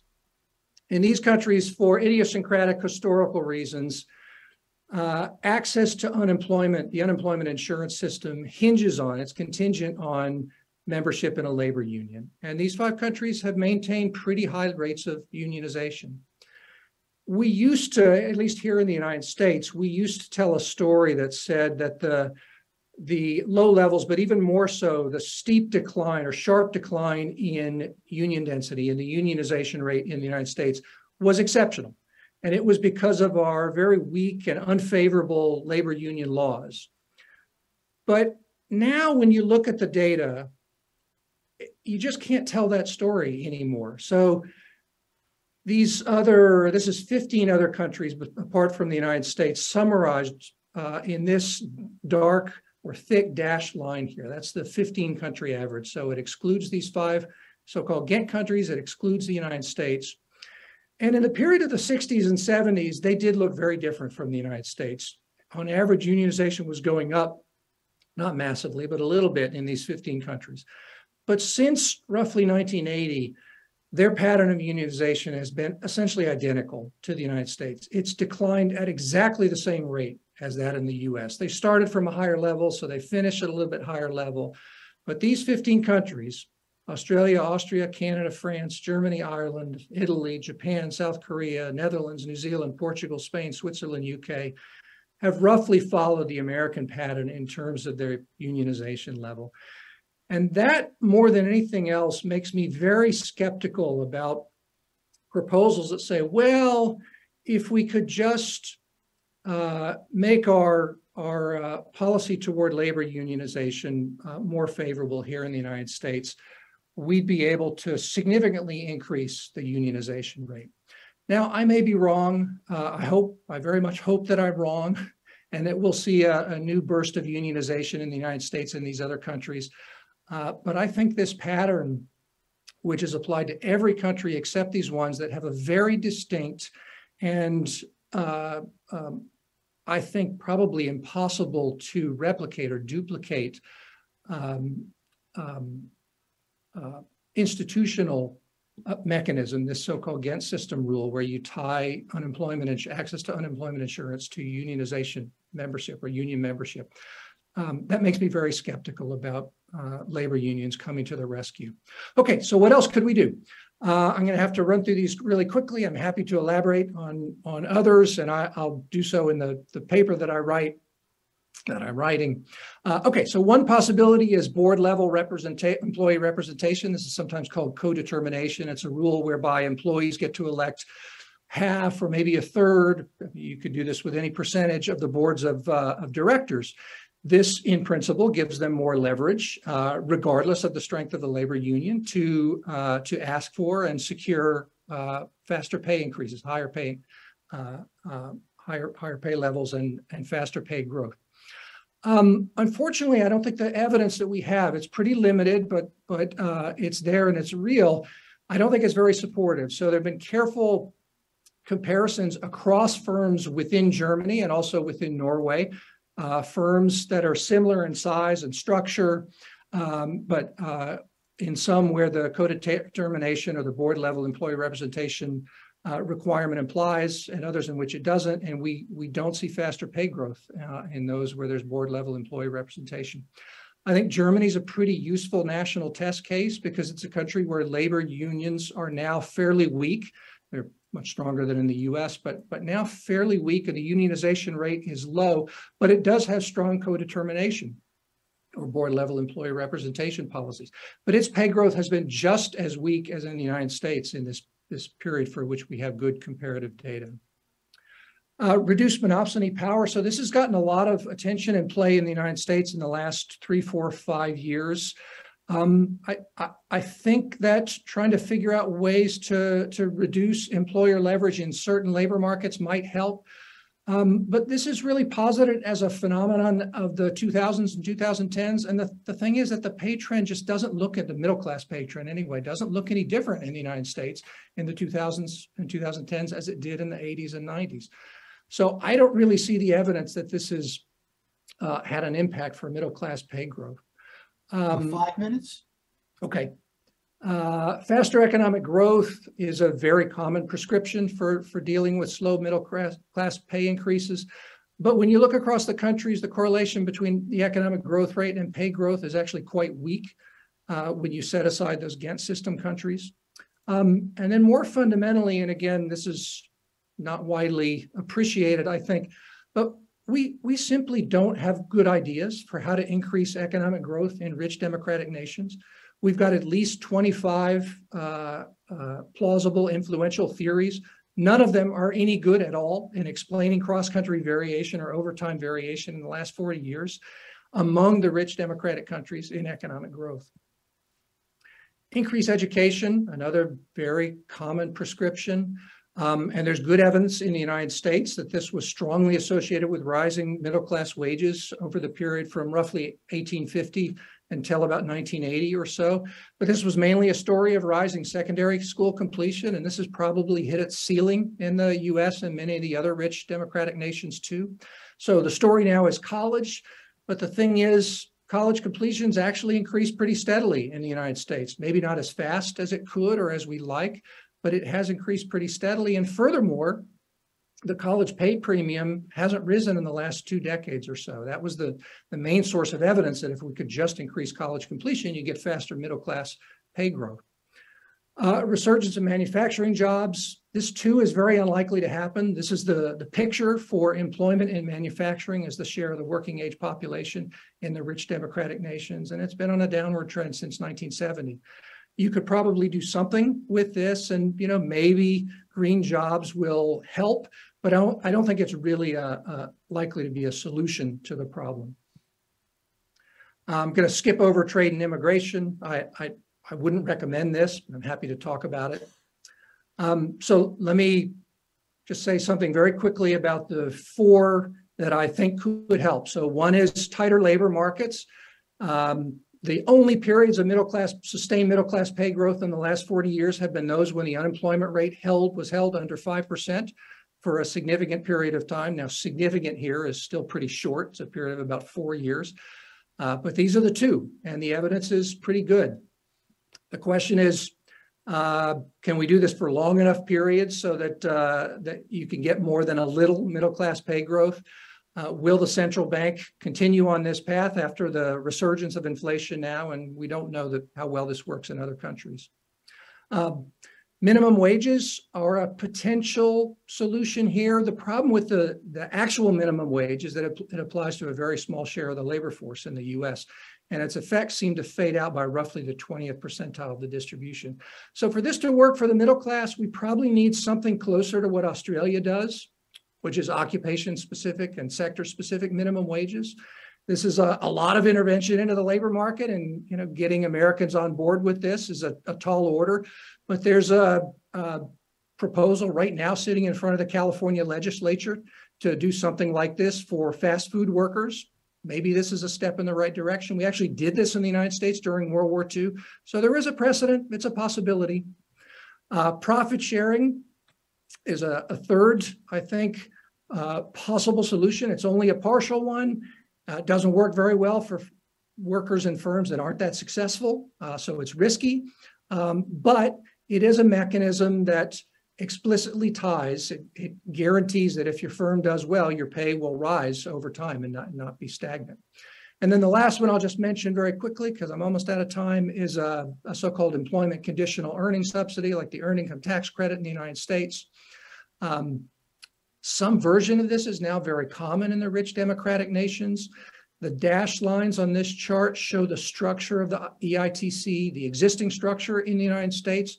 I think what we ought to do is something closer to this solid line, which is modeled on one that Sweden used for a while, where you still, so it's very low at low levels of earnings. So it does create employment incentives. It, it goes up, but then instead of coming down uh, as you move into the middle class, you could just extend it at the same level throughout the middle class. It would cost more, of course, but uh, but this could work. This could help as a as a supplement to middle class incomes. Uh, and then, oops, I skipped over one.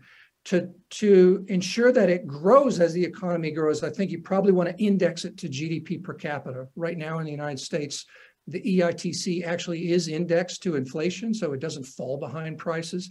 But to allow it to, to keep up with the economy, you could index it to GDP per capita. So those are the four that I, I think would uh, would be most likely to help in the context of a, a country with weak labor unions, which uh, is we're we're now moving toward a situation where that's all of the rich democratic countries except for those five that I, I highlighted earlier, unfortunately. Super. Thanks a lot, Lane. That was that was terrific. Okay, uh, our next speaker is uh, Soo-yong Byun, who's a professor of education, demography, and Asian studies at Penn State University.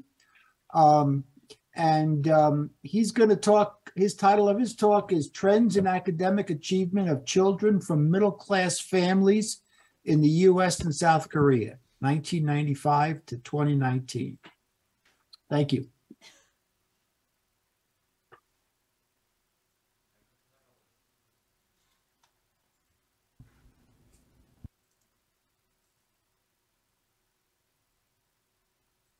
And I think you're muted. All right, sorry about that. So I just jump into the, my presentation by saying the research aim so in this study, I'm looking at uh, how academic achievement of children from the middle class family, here I call it middle class children, have changed over time past two decades in United States and South Korea in comparison of that of children from lower and upper middle class families. So basically I switched uh, the attention uh, from the um, the income or like uh, the labor market to the academic achievement and the adult and children. So why we study the uh, education? Well, just Lane mentioned that, you know, uh, highlight the importance of the education in attaining uh, middle class society, I mean, the status. So there are a number of publications highlight the importance of, of uh, education. And in academic uh, achievement is the most important predictor of the, the uh, post-secondary attainment as well as early career outcome. So that's why we study education in academic achievement. Uh, this figure uh, uh, depicts the relationship between the family and school, which are two most important social institutions that shape the educational outcome. So we just talked about the uh, growing income in inequality. So there are a lot of uh, debate on whether you know school serve as like a transmitter of the the inequality or like a serve as a great equalizer. So if there is a growing income and the school translated and then we see the growing educational uh, inequality. However, if the school serving as a great equalizer, we see the uh, the uh, the uh, the decreasing the educational inequality. Of course, there is some child, uh, policy change in education as well. So I'm going to get to this in end of the uh, presentation when I discuss the result.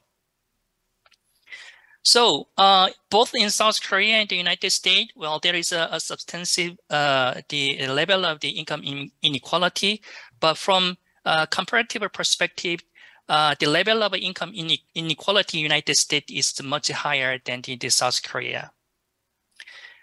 Uh, when we talked about the trend in income inequality, as a previous uh, presenter already talked about, so uh, here in United States, uh, the share of the uh, held by the middle income household uh, decrease over time. And when it comes to South Korea, trend is quite interesting. So the left the figure indicating uh, the trend in the Gini coefficient. So since I mean 1990s, the, the Gini coefficient increase, especially uh, 1997 when uh, there is economic crisis.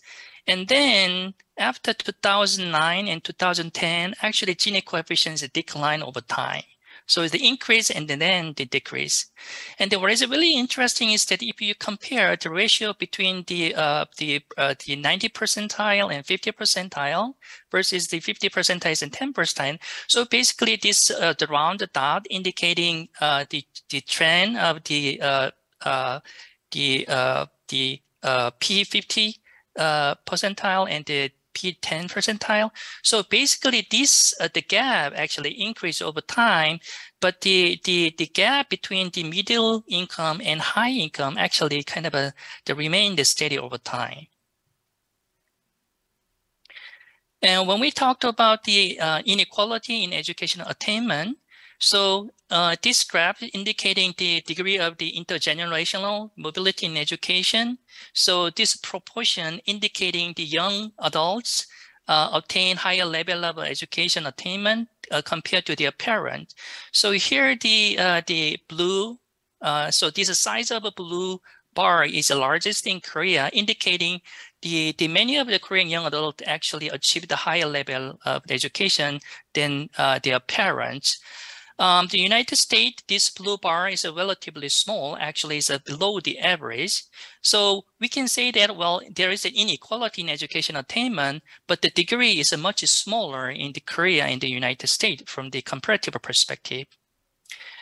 Why? Well, actually, that's because of the South Korea experienced a great level of education expense, uh, expense uh, expansion over the uh, half a century. So this graph shows that the uh, gross enrollment ratio in the tertiary education. So 1970s, uh, so about the 10% of the high school graduate actually uh, went to the college. Uh, that time, uh, more than like 40% of high school uh, graduate in United States went to the college. But this ratio dramatically increased during the 1990s. And then since around the, uh, 2000, actually this rate in Korea actually surpassed uh, the United States. So, so South Korea is now the one of the countries shows the, the highest level of the college enrollment. So because of the this education expansion, this is a, like a, a demographic uh, composition change by the uh, the highest level of education. So here the left side by 2050, about 25 percent of the adult population uh, have a post-secondary secondary education. However, by 2050, almost half of the uh, adult population uh, have um, the uh, post-secondary education. So this graph shows the uh, contrasting uh, the prediction between the South Korea and the United States. However, uh, that does not necessarily means that there is a, like you know uh, the inequality is not does not exist in South Korean uh, context. And actually, we can look at this some like a horizontal or like a qualitative inequality. In other words, still United States and South Korea, in both country, high income uh, children, uh, they are more likely enrolled in uh, private selective college. That is also the case in the South Korea. So there's a, like a horizontal uh, inequality in education attainment. In another dimension of the educational inequality is that the social economic achievement gap. So here, the United States, um, the uh, the Sean Reardon in Stanford University, they're looking at the trend uh, in academic achievement between the 90 versus the 10 percentile the income, and they he found that you know the income gap actually increased over time.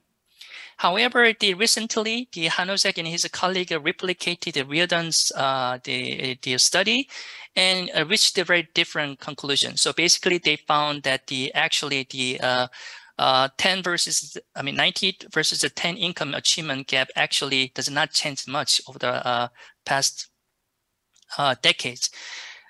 He criticized the Hanushek and their colleague, uh, his colleague criticized the Reardon study because you know the uh, uh, empirically uh, there is a lot of uh, measurement error in the income.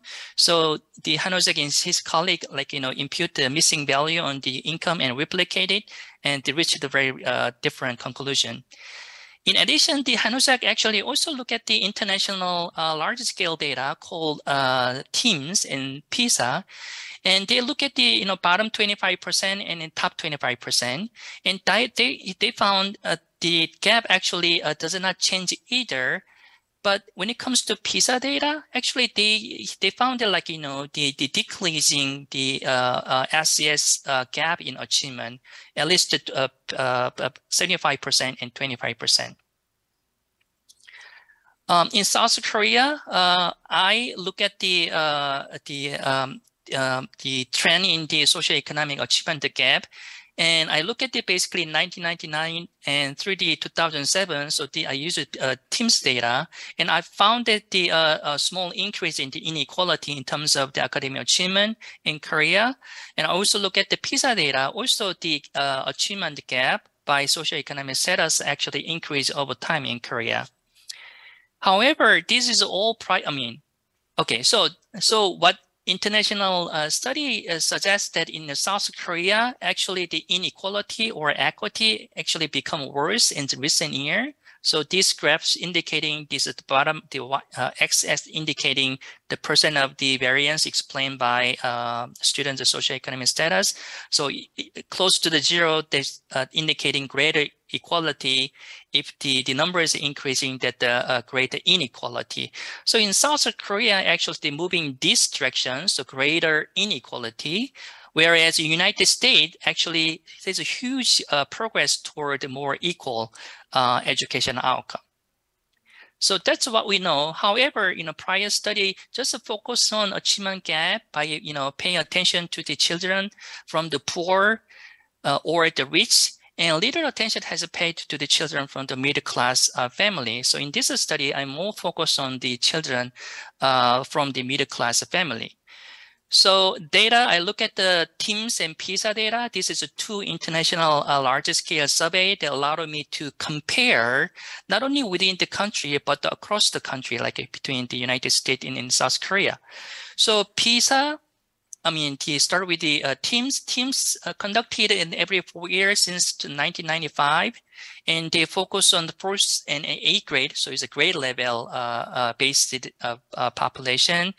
They use a two stages stratified sample. So basically they randomly sample a nationally representative of the school, and then the student within that school is a sample. And they evaluate the math and science, whereas PISA uh, conducted every three years since 2003. Uh, this is a more age-based population, so they focus on 15 years old. Uh, they use also to stratify two stages stratified sample, and they measure the reading and math and science. So um, TIMSS fourth grade and eighth grades corresponding the primary level and lower secondary level, uh, while the PISA data corresponding upper secondary. So in this study, we I focus on the lower secondary and upper uh, secondary because not uh, uh Korea uh, did not participate in some of the fourth grade TIMSS survey. So I look at the uh, all outcome like reading, math, and science. But in, in this presentation, I just present uh, the result for the reading um, uh, for PISA and the eighth grade. I'm looking at the uh, math. So this is the sample size. So when it comes to measure of SES, so TIMSS include a couple of measures that can we utilize to measure uh, the, the socioeconomic status, including parental education, number of books, and home possession. Um, PISA have a more a better measure of the uh, socioeconomic status, including parental occupation.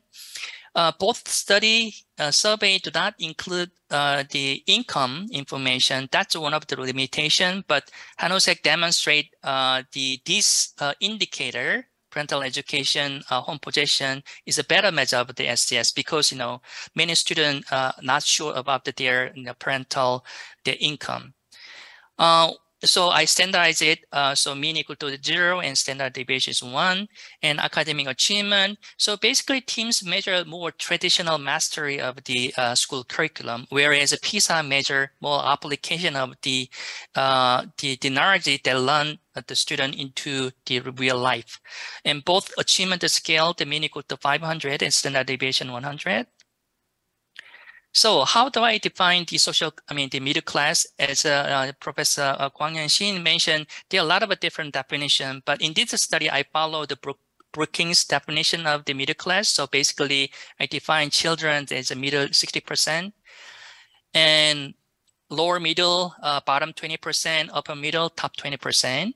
And I also use a different uh, definition of the social class. So basically I use, uh, based on the literature on the income inequality, I define the children 50 percentile and 10 percentile and 90 uh, percentile. So starting with the lower secondary, so basically this is the uh, the middle school. So left side indicating um, showing the uh, the result for the United States. As you can see here, so the level of the overall achievement in math achievement actually slightly increase over time. That's also the case in United, I mean, in South Korea. So overall achievement among the uh, children from the middle class family increase over time. I want to highlight that the scale is different. So here the United States, the scale about the 480, whereas Korea about uh, about the 600. So there is a huge gap in academic achievement between the children from the middle class family in Korea and the children from the similar background showing the much higher level of uh, educational excellence in Korea compared to the uh, United States. Uh, five minutes. Okay, thank you. Now I compare with the lower and the upper. So as you can see here, the United States, regardless of the social class, the, the overall level of achievement increase over time.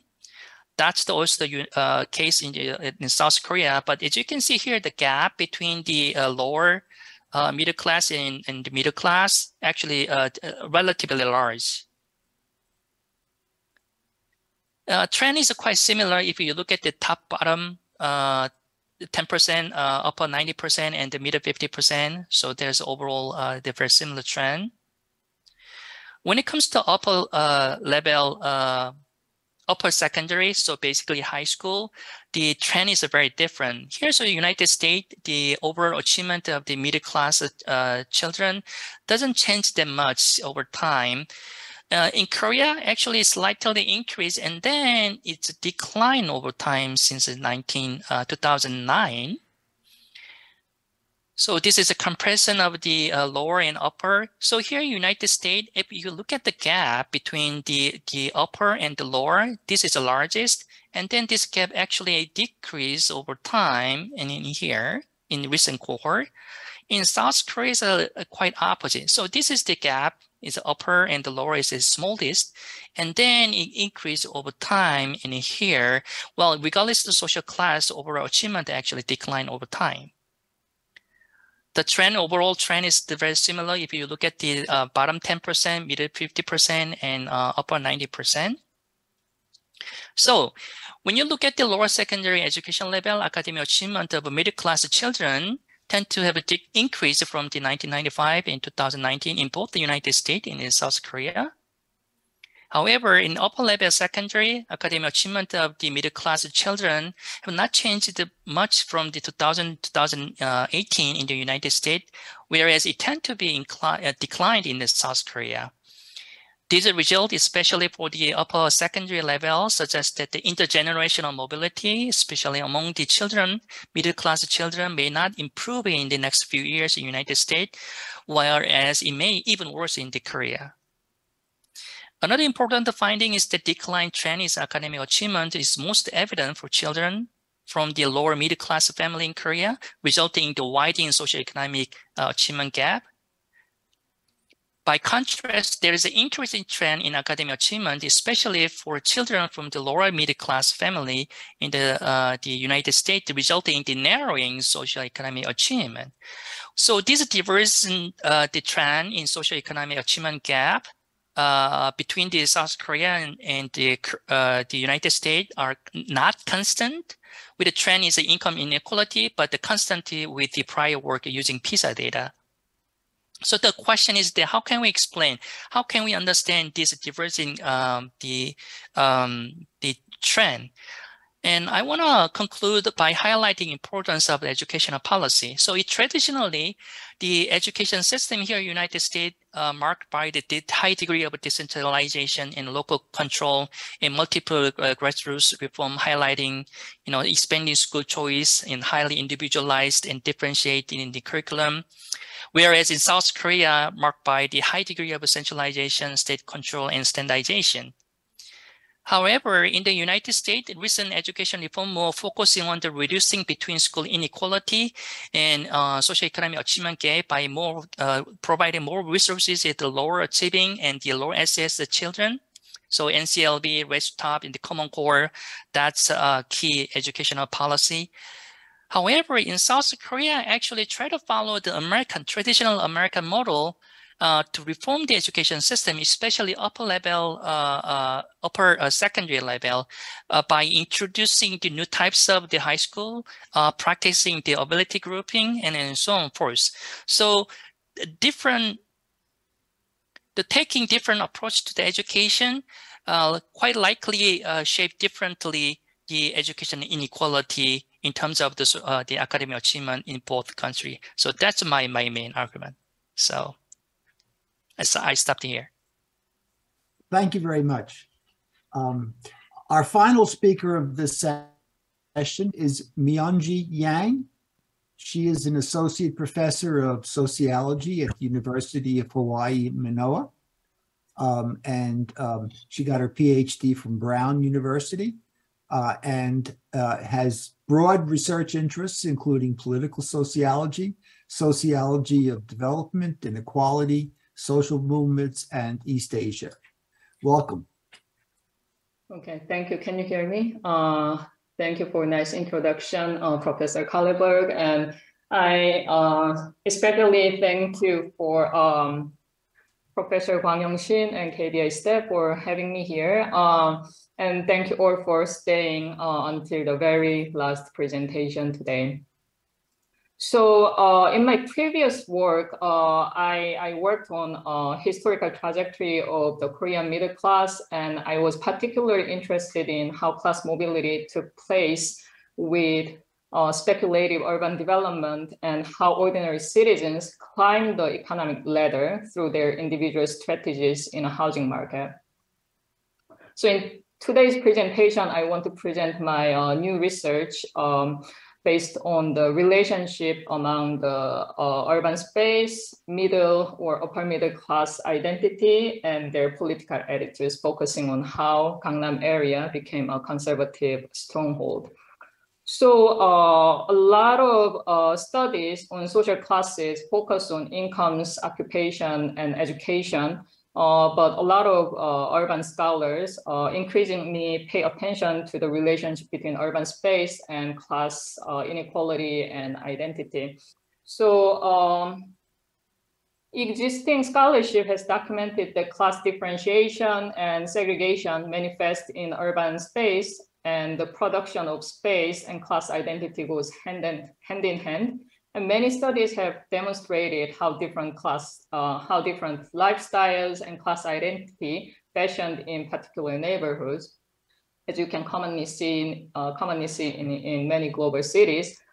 And um, Another set of literature in political science also uh, focus on the relationship between home ownership and voting behaviors. So for example, political scientist uh, Ansell argues that homeowners who experience housing price appreciation will become less supportive of redistribution and uh, social insurance programs since higher housing prices mean more valuable private insurance. So um, homeowners um, particularly homeowners with high property values are more likely to vote in a more conservative way. So recent studies uh, on the rise of the right in the United States um, provides explanation on uh, why people in particular places or regions share conservative political orientations. So inspired by uh, Arlie uh, and uh, Katherine Cramer's, I'm in my presentation, I'm trying to demonstrate the relationship between place and middle class identity and conservatism in South Korea. So uh, when we talk about middle or upper middle class, especially in South Korea, Gangnam is always brought up as a representative and symbol uh, of the Korean middle class. So Gangnam refers to the three administrative units, uh, including Gangnam, Seocho, Songpa, as you can see uh, in the map. Uh, and this is the most common definition used in uh, South Korea. And uh, um, this particular area symbolizes uh, the most affluent and expensive area in uh, Seoul and uh, South Korea. So um, Gangnam was the first site in Korea targeted by planned urban development projects and developed into a middle-class residential district. So Gangnam has become what is now as a symbol of middle-class status, culture, and social aspiration for class upward mobility. So it's the center of finance, education, fashion, and information technology, and provides access to good school districts and convenient living environments. So Gangnam's status as the most desirable district, residential district um, in Seoul has maintained its high housing prices and attracted many affluent middle-class families uh, for last few decades. Um, but at the same time, Gangnam has been a stronghold for the Conservative Party since the mid-1990s, along with the Daegu Gyeongbuk region. So while the capital city, Seoul, is generally politically liberal and tends to give stronger support for the sort of uh, leftist liberal party, Gangnam district were always the exception. So as you can see uh, in this uh, presidential election outcomes for the last uh, 25 years, uh, Gangnam voters have uh, strongly supported the conservative candidates compared with the Seoul average and national average. So uh, the red part are like conservative candidates, and you can see that the pattern for conservative voting become stronger over the years. And then this one is the um, outcome of general uh, election since 1992. Again, uh, without almost no exception, the conservative candidates uh, won the election. Uh, and then obviously over the years, the tendency becomes stronger. So my research questions are why do Gangnam uh, voters, residents strongly support the Conservative Party and its candidates and what shapes their political identity?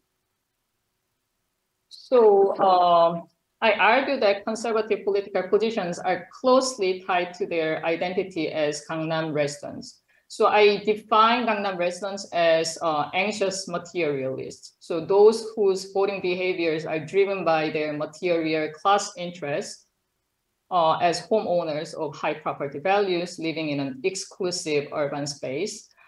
Uh, but at the same time, they are uh, anxious and angry about the real estate market regulation implemented by the so, so-called leftist reformist government. So this is a part of my larger project on the right-wing politics in South Korea. And over the last few years, uh, I have conducted observation and in-depth interviews and archival research. And my uh, uh, uh research outcome today will uh, draw from those uh, data that I collected. Um, so first, I should talk about how particular middle class identity was formed in Gangnam area. So when Gangnam was developed beginning in the 1970s, high-rise apartment complexes as a typical middle-class residence were massively built and concentrated out there. Uh, Gangnam became a place containing homogeneous middle-class families, generally uh, families of white-collar workers, corporate managers, and professionals um, who could afford to buy a new and modern apartment unit back then. Uh, further, Gangnam was a site of real estate boom and many residents there benefited from escalating housing prices. So by selling and um, buying apartments unit, apartment units for a few times, they could climb the housing ladder and became homeowners of high property values. So as Gangnam becomes an aspiration, aspirational place where everybody wants to move, Gangnam residents share a sense of pride and superiority that living in Gangnam is better than the rest of the city and rest of the country. So many Gangnam residents display a very exclusive class identity by making distinctions between Gangnam and the rest of uh, the area. So rest of the city or rest of uh, the nation. So for example, a lot of Gangnam residents talk about, you know, living in Gangnam um, is much better. So like, you know, in, in their neighborhoods or area, the members of um, people uh, are more educated, cultured, and they are more um, um, sophisticated. And then they describe their areas as, you know, wide, clean, less chaotic. Um, so you can see very clear distinct, uh, distinctions that they make about their own places and others. Um, so the reason that Gangnam could become an exclusive space is that it has high property values and not everybody could afford to live there. So when Gangnam's property values decline and most people can afford to live, its distinctive values will disappear, obviously. Uh, during the so-called leftist government, uh, especially uh, during the Roh Moo-hyun and Moon Jae-in governments, um, they tried to address speculative real estate market and stabilize housing prices. So the leftist governments were uh, also targeted Gangnam area as the area where severe speculation took place and higher property taxes should be imposed on owners of multiple homes with extremely high property values. However, these reform actions had strong criticisms and backlashes from the Conservative Party, conservative media, and Gangnam residents and homeowners.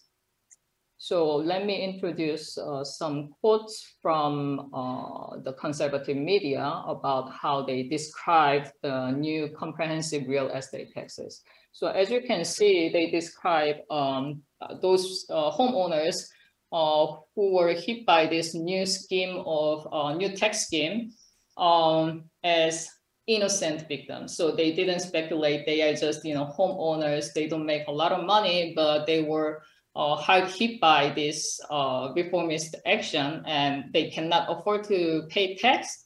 So basically, you know, they accuse the uh, reformist government of kind of targeting innocent homeowners and making them pay excessive taxes.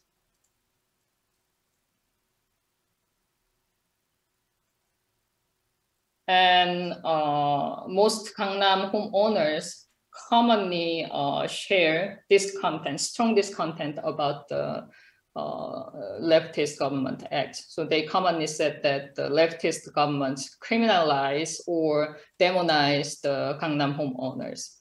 Further, uh, many believed that the so-called leftist governments punish the rich and disincentivize hard work and individual merit. So for them, uh, living in Gangnam and living in properties with high values was considered a result of hard work and um, good investment skill. So they believe that what the leftist government do was um, create sort of um, dis distortive and artificial equality, which is very similar to what socialist country does. And another common sentiment among Gangnam homeowners was that you know the homes that they own are their private properties. And then government should not violate private property rights and their private freedoms, uh, individual uh, freedoms. So they had very strong uh, anger, resentment toward this new tax scheme. Um, and because of their strong belief in meritocracy and elitism, they cannot agree with the uh, reformist agendas on redistribution or social welfare. They view that the reformist party and its politicians try to destroy the established order represented by Gangnam uh, residents and to rebuild a new order. Yet they share a deep sense of doubt and disbelief about the new world. So uh, they believe that the leftist party and government uh, not only threaten their status quo, and but but they also uh, they are also more corrupt and hypocritic. So you can see the uh, the second paragraph, uh, the new establishment, which consists of former um, uh, student activists and progressive intellectuals. they are not competent at all, uh, and then they even more corrupt and hypocritic. So um, uh, while Gangnam residents' strong opposition against the reformist party can be seen as a rational calculation of Gangnam residents, a decision that the reformist party does not represent their political identity and class interests, there exists an emotional dimension here, a deep sense of hate and contempt toward the working class and its representative. Um, the working class um, uh, has often been uh, considered poor, uneducated, unsophisticated, and easily agitated, which are the contrasting characteristics of Gangnam's educated and cultured residents. Uh, so for example, former President Kim Dae-jung or Moo-hyun were not popular among Gangnam residents, not just because of their so-called radical or leftist policy agendas, it was also because both of them were high school graduates were, and were considered not culturally refined especially uh, Roh Moo-hyun's speeches uh, or actions were often seen as rough and tacky. So their class background uh, was considered burger, and they did not share the Gangnam habitus in Bourdieu's terms. So as you can see, okay, yeah, as you can see in this quote, um, while it is true that many Gangnam residents disagree with policies, especially uh, real estate policies adopted by the uh, leftist party and government. Um, but there is widespread feeling uh, uh, shared by Gangnam residents. The feeling of repulsion uh, does not necessarily come from specific policies, rather it's from a strong disregard toward the lower class, uh, often represented by the opposite of Gangnam, uh, which is Gangbuk, um, across the river, and the representative reformist party. Uh, as you can see, you know, um, one Gangnam resident said um, they do not want to support the left party supported by uh, commoners were coarse young people. So you can see that, you know, Gangnam people try to make very clear distinction between them and others. Um, so Gangnam residents believe that those who are on the opposite side of the political spectrum are culturally and economically inferior and sharing similar ideas with them um, are considered sort of uh, dep deplorable. So um, in conclusion, uh, place matters to shape class identity and uh, also political identity, and it affects their voting behaviors and patterns and Gangnam residents share exclusive identity as a resident, as residents of high property values and having high uh, cultural capital, and then they share a sense of superiority compared with uh, non-Gangnam residents. And uh, because uh, they believe that uh, the leftist party uh, doesn't represent their material class and class interest, they try to vote against the uh, uh, leftist party and then vote for like conservative party that will ensure their uh, high property values and deregulate uh, uh, taxes and uh, real estate market policies. So this is it. Thank you. Oh, thank you very much. Um, and thank you to all the speakers. I think we should give them a hand. Um, well, we have um, a number of questions uh, already in the chat, uh, and um, maybe we could just start in. Um, so the first question is how middle how middle class shrinking could affect the legitimacy of democratic governments. Um, does anybody want to try that?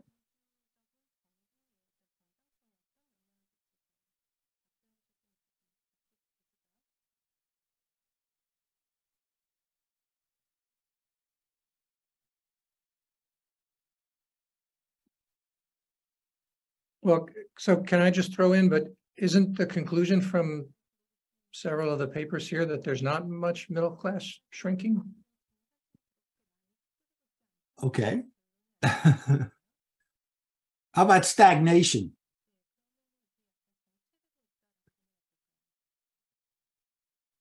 Fair question.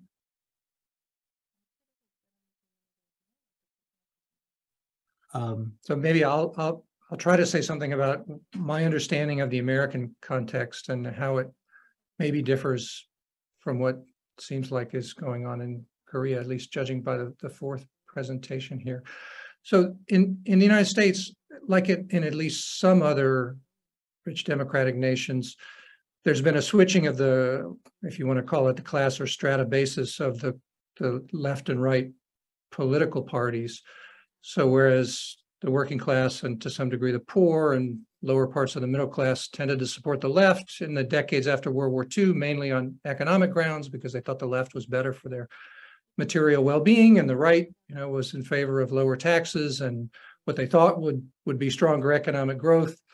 Um, this is now flipped to a significant degree, at least when you think by education, it's a little less clear in terms of income, but by education, um, there, in the United States and, and some other countries, there's been a complete transformation. And so college graduates tend to vote very heavily for the left party and, and those without a college degree are more likely to vote for right parties who in turn are more likely to be the populist parties, although that, that doesn't always work perfectly. And so eh, it's not at all clear to me what what changes in the middle class mean uh, in in this regard, or, or the implications that they have for uh, democratic stability. So it's it it tends to be so-called populist parties of the right that are uh, in countries like the United States, Hungary, Poland, Turkey, uh, that Brazil now that, that are the biggest threats to the stability of democracy, they're now um, more likely to be backed by by voters with less education, whether they're middle class or not. I I I, I don't know. I guess I want to throw in an, an additional complication that struck me from this last presentation. So if I think about the the counterpart in the United States. I, I think about affluent parts of big cities, whether Manhattan or San Francisco or Los Angeles. Maybe there are particular districts that behave like uh, the voters in Gangnam seem to be doing, but I think that they'd be much more likely to to vote for the Democratic Party in the United States be more likely to be highly educated. They're voting against their presumed class interests. And it's mainly because of their, their views on social and cultural issues. They're just committed to, they're, they're much more affiliated with, with a liberal progressive view on, on social and cultural issues. And they vote based on those issues now rather than based on their, again, you know, sort of presumed economic interests and lower taxes. But the housing question may throw a wrench in this uh, and and in the following way so as we kind of talked about before housing has gotten very expensive in the united states but it's mostly in the the big cities and those cities are overwhelmingly liberal even among college educated rich voters so now uh, policymakers are trying to figure out what to do. And it it looks like, and there's a kind of emerging consensus that the biggest obstacle to solving the housing problem in the United States is um, uh, is restrictions on building. It's just blockages of the housing supply. And so so-called NIMBYs, not in my backyard, uh, mostly homeowners who uh, are in favor of building lots more housing all over the country, except very close to where they live. They're the ones that are blocking loosening of the regulations and therefore construction of more housing. The Democratic Party, I mean, it, it could have been either party that had decided that would decide we're in favor of loosening these regulations and allowing more housing construction. But it looks like the Democrats are are the ones that are uh, at least changing their views um, most immediately, it's it's partly because they're the ones that preside over. They're, they're the ones in charge of most of these big cities and the states in which many of these cities are located, like California, New York, Massachusetts. Um, so, you know, our, are American voters in Gangnam type districts going to stick with the Democratic Party if the Democratic Party insists on loosening regulations to allow a lot more affordable housing to be built in these districts? I don't know. I, I think it's too soon to tell, but that's a that's a real possibility. I think if they did, it would be for other reasons than what you suggested here. But but anyway, I I, I just think this is an interesting, fascinating possibility. I'll stop because I've already talked too long. Myungji, do you have any uh, thoughts on that? Yes, so uh, I think uh, that's very uh, interesting and sharp comments. I, I was also thinking that like uh, compared with Western counterpart, Gangnam uh, voters are very unique because uh, if you think about, you know, American upper middle class that have high incomes, usually they vote for um, Liberal uh, Democratic Party. Uh, I, I, think it goes same in you know European countries as well. I think uh, in the Korean case there is a special meaning attached to housing as uh, you know investment. So uh, those who live in Gangnam or in any other areas in Seoul, um, having a home uh, whose uh, prices are escalating is very important to many homeowners because uh, that's the only asset or wealth they, they own. So, you know, their future economic uh, prospect is very tied to whether housing prices increase or not. So I think, you know, uh, for, for Korean people, how housing has very special meaning beyond, you know, some living place.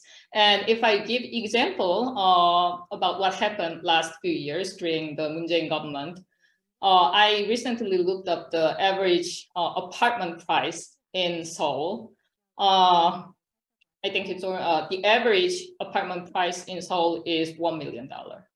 So if you think about you know average housing prices somewhere else in the United States, even for uh, expensive city, this is just the I don't know like eye opening, the uh, very surprising. So and then a lot of people try to play game in the housing market. So like they don't have uh, a lot of income uh, other than their salaries. And if you, uh, if, if, they uh, had really good investment skill and then their housing prices um, escalated quickly, they can sell and they can buy bigger one or they can make a lot of money. So you know, housing is sort of means of gambling in the in Korean society. So that uh, I think that's partly why you know these people behave uh, in a very conservative way, and they don't want to pay higher pro property taxes because uh, housing is the only economic means that they have, uh, especially for uh, elderly population. So I, am not sure if my answer, uh, if if my comments answers your question, but. Kwang Yeong, you want to take this question, that the second question? I would like to hear opinions regarding uh, the aspects of the labor and real estate policies of both the former and current Korean governments from the perspective of income inequality.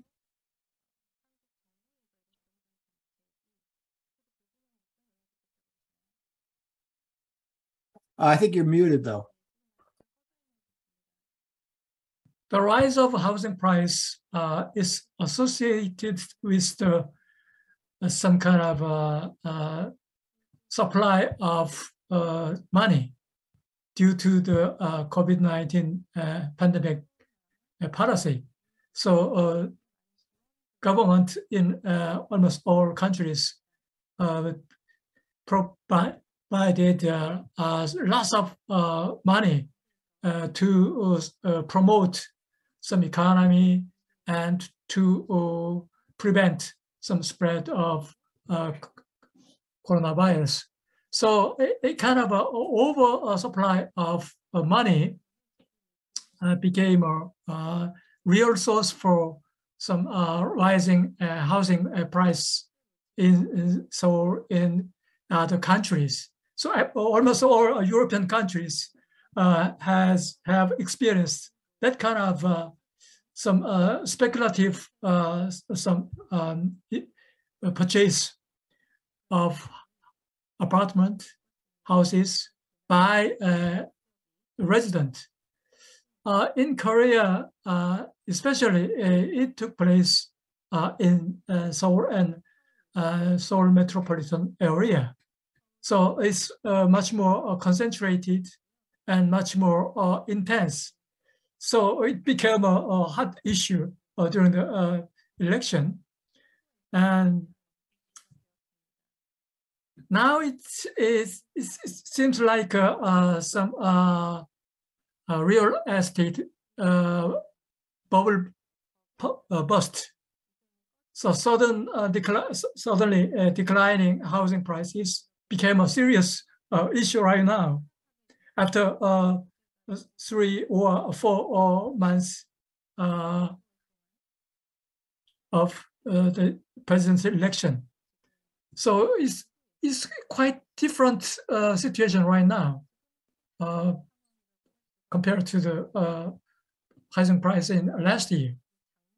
So it's, very it's, uh, volatile, uh, some uh, fluctuation of housing prices became a, another problem. As I mentioned before, so housing uh, became an important uh, uh, investment for middle class in South Korea. And the price is, is going down and the, the price of uh, the housing and the real estate became a very a, a, very low value uh, valued then the uh, many uh, middle class cannot pay back to the bank. So it became a, serious uh, source of financial crisis. So now uh, it is a, a very different uh, social change and economic change after the very uh, uh, uh, housing uh, price in the for the past two or three years. Suddenly, uh, it, the housing prices is is rapidly uh, falling down. So it is another uh, problem for the um, Korean middle class, especially in Seoul and uh, metropolitan area. Super, thank you. Uh, let, let, me throw this to Professor Byun. Um, uh, doesn't the fact that education used to be the only way to class mobility in the 20th century Korea, but not anymore, affect the slight dip in the secondary, tertiary education rate in the country? With the rise of uh, SNS and YouTube, people see more and more success stories that are seemingly irrelevant to regular education. Yeah, I think this is a really interesting question, and actually, you know, many people many people believe so. You know, uh, however, we don't have any empirical evidence that the importance of the education in determining the income or like you know occupational attainment decrease over time. As a matter of fact, uh, recently, uh, ChangHwan Kim in the uh, Kansas University uh, he published a book showing that actually education premium does not change over time. So again, like in education still important uh, to determine the income and the occupational status. Like you know, Delane uh, talked about the you know increasing importance of the education here, in the United States. Well, obviously, you know, uh, with the rise of the SNS, YouTube, well, we can see, we can hear. Uh, well, actually, you know, we can easily hear uh, about the you know, successful study. I mean, because it's really easy to like you know the assessment like uh, uh, uh, spread.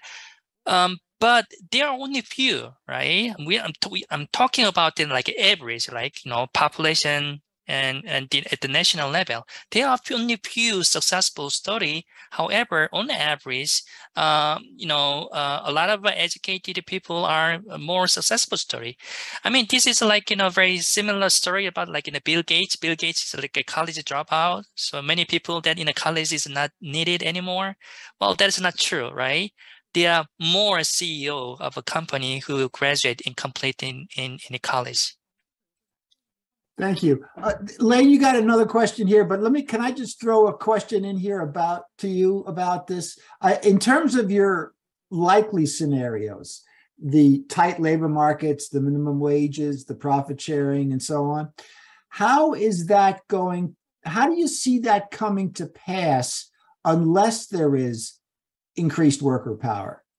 Um, is it going to happen politically, do you think, or, uh, or, or what, what, what do you see as the mechanism? Well, it's it's not that I'm super optimistic about this, but I do I, I am actually more optimistic than I was 10 years ago about tight labor markets as a possibility.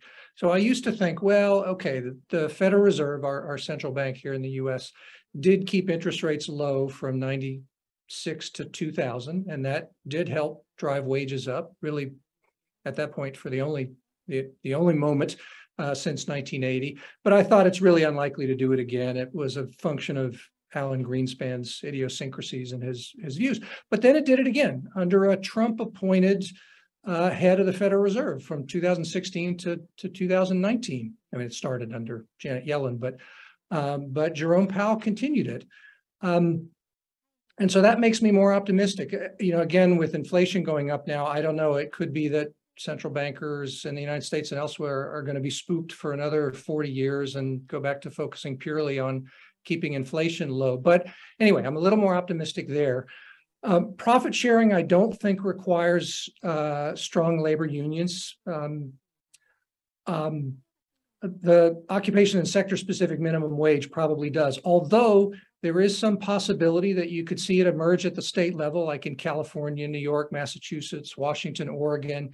And if it works, uh, you know, there's some possibility it might spread, or uh, an administration at some point at the federal level might decide, yeah, let's let's go ahead and and adopt this.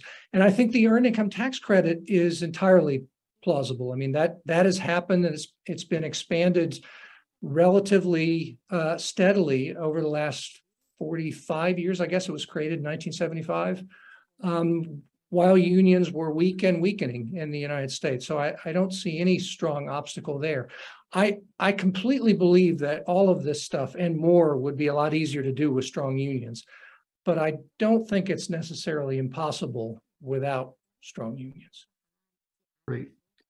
Uh, Professor Yang, you've got a couple of questions here about Gangnam. Uh, you, can you see them in the chat? Uh, perhaps you could just address them in the few minutes we have left, please. Okay. Uh, do I think behavioral Gangnam is something to be improved or rectified? Um, I think the if the value of Gangnam or privilege of Gangnam changes, maybe their behavior will uh, change.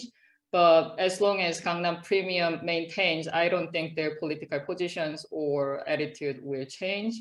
Um, but as Professor um, Shin said, uh, there is, there seems slight changes in uh, slight changes in housing prices at this point, but I'm not sure how long it will last. And even if housing prices overall declines, I don't think it is significantly affect the Gangnam area because people uh, want to live there. So, you know, as long as there is high demand, I don't think the value of Gangnam will decline. So um, I think in the short term, I don't I don't see any changes. Uh, but maybe in the long term, um, obviously the the biggest problem with uh, with Korea is that um, so many things are concentrated in Seoul metropolitan area. But with the you know um, population decrease, and uh, if the government maybe promotes decentralization, maybe the picture would be different. But I don't see any kind of policy change at this point, so uh, I, I don't have optimistic uh, uh view about this. And uh, Gangnam Japa, Gangnam leftist, but as I showed, uh, you can see the overwhelming majority of uh, conservative attitude in Gangnam. So Gangnam Japa is sort of a, um, uh, the term that conservative media try to uh, criticize their hypocritic behavior, but I, am not sure uh, how uh, significant or how meaningful to talk about Gangnam leftists uh, are. Um, so I think that would be my uh, brief answer to the questions. Thank you. Well, thank you very much. I think we're just about out of time, uh, and I want to thank the presenters for for their great presentations. And uh, um, and I uh, I guess this ends this this second session, and the next session will be tomorrow, um, tomorrow morning in Seoul, and in the evening over here in the States and wherever. So um, thank you very much. And um, Thank you, Arne. This marks the end of day one of the seminar. I would like to thank you all for your early morning or late evening participation. And I hope today's seminar was uh, as valuable for you as it was for me. You're now free to leave, and I'm looking forward to seeing you again at tomorrow's session. Thank you very much. Thank you.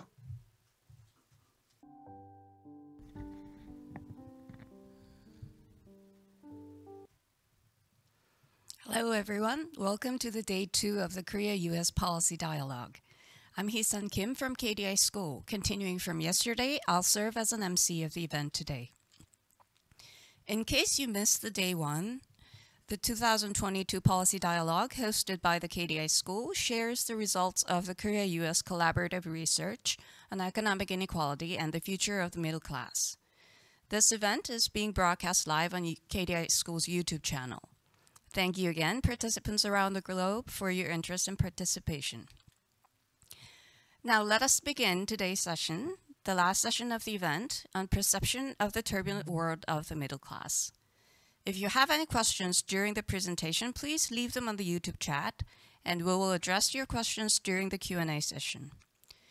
Please allow me to introduce the chair for our third session, Professor Lane Kenworthy. Lane Kenworthy is Professor of Sociology and Yankelovich Chair in Social Thought at the UC San Diego. His research interests primarily focus on living standards, poverty, inequality, economic growth, and social policy. Please welcome Professor Kenworthy. Okay, hi, uh, welcome back, everybody. Good morning, good afternoon, good evening, depending on where you are.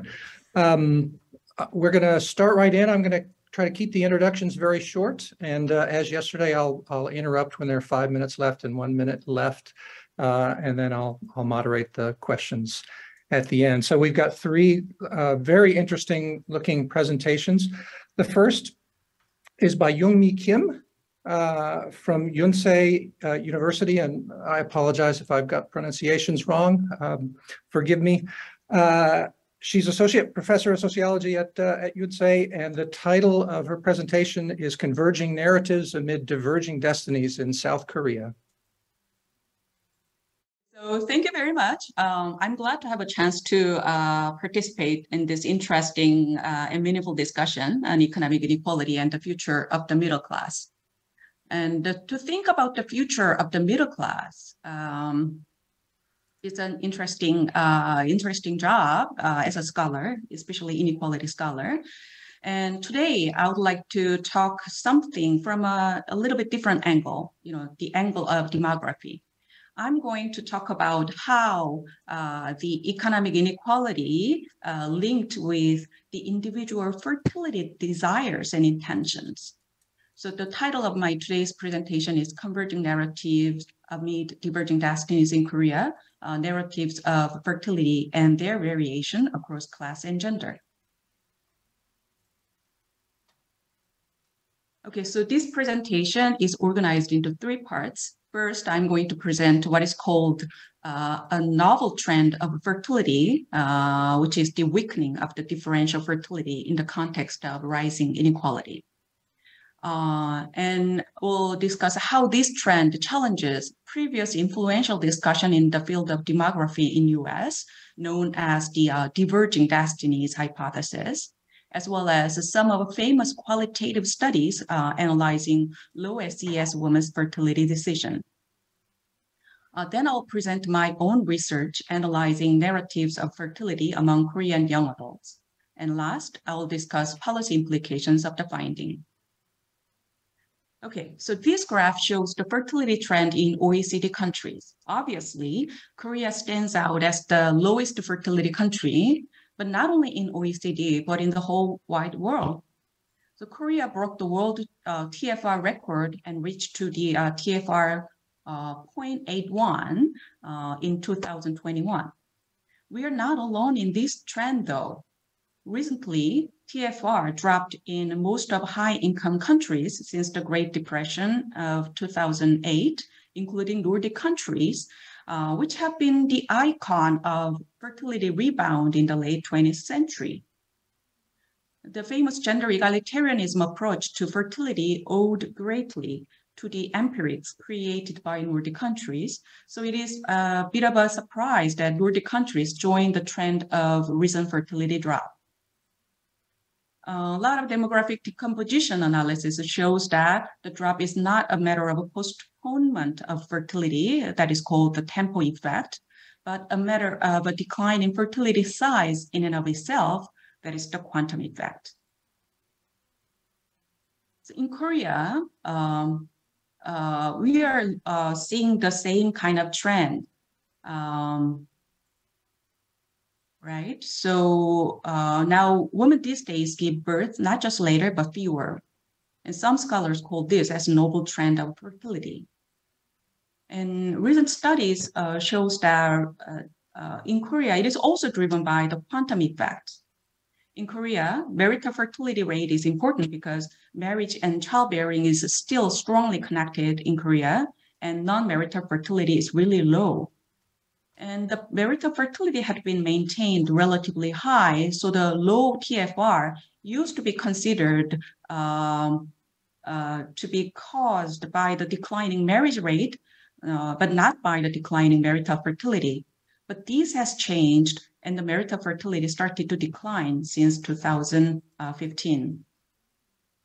But what I want to emphasize today is a slightly less highlighted pattern, which is the weakening of the differential fertility. Differential fertility means the difference in the number of births across socioeconomic class.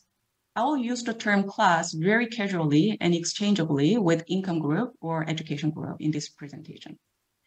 The relationship between family income and the number of children used to be negative in the past. However, it is reported to be weakening in almost all Western countries and Korea as well. There are a few research that reported this another novel trend in Korea. According to them, the fertility rate has declined in all income classes.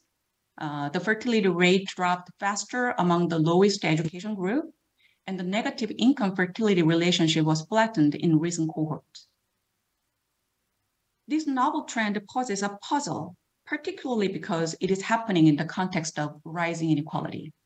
This challenges the previous demographic theories, uh, uh, the, the diverging destinies hypothesis. Diverging destinies is a concept that American demographer Sara McLanahan proposed in her 2004 presidential address to the Population Association of America. McLanahan argued that in the US and other Western countries, the second demographic transition was leading to two very different trajectories for women with very different implications for children. So children who are born to the most educated women are gaining resources in terms of parents' time and money, but those who were born to the least educated women are losing resources. There, the negative relationship between education and fertility was considered as a key demographic pattern that produced such gaps in parental resources and um, mobility. Uh, intergenerational mobility. It has been argued that um, as inequality increases, the class difference in demographic behaviors might become strengthened as well. Because, uh, for one, higher wage differentials across education groups will increase highly educated women's opportunity cost of childbirth, uh, thereby negatively affecting their fertility decision toward a greater degree. Um, and from a slightly different angle, uh, some scholars have argued that the increasing inequality will strengthen the class difference in parenting, and the so-called quantity-quality trade-off will become stronger in upper and middle class, uh, negatively affecting their fertility decision to a greater degree. So, uh, uh, and a European economist, Ed Sarah, has discussed four drivers that can mediate inequality and childbearing decisions, uh, behaviors of women of different educational background. And uh, two of these drivers are related with labor market changes. She discussed that the fertility um, is likely to be procyclical and the rising employment polarization will exacerbate the financial situation of working class families to a greater degree to negatively affect their fertility. As for the persistent impact of persistent gender gap in employment and wages, she discussed how women's incentives for baby will change depending on whether they are at high wage sectors or low wage sector.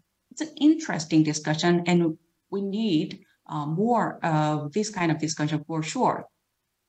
But think about when you when we think about you know um, our research theoretically, uh, they are not only uh, uh, we we can we can find abundant candidate hypotheses to make a macro to macro link to make sense of the puzzle.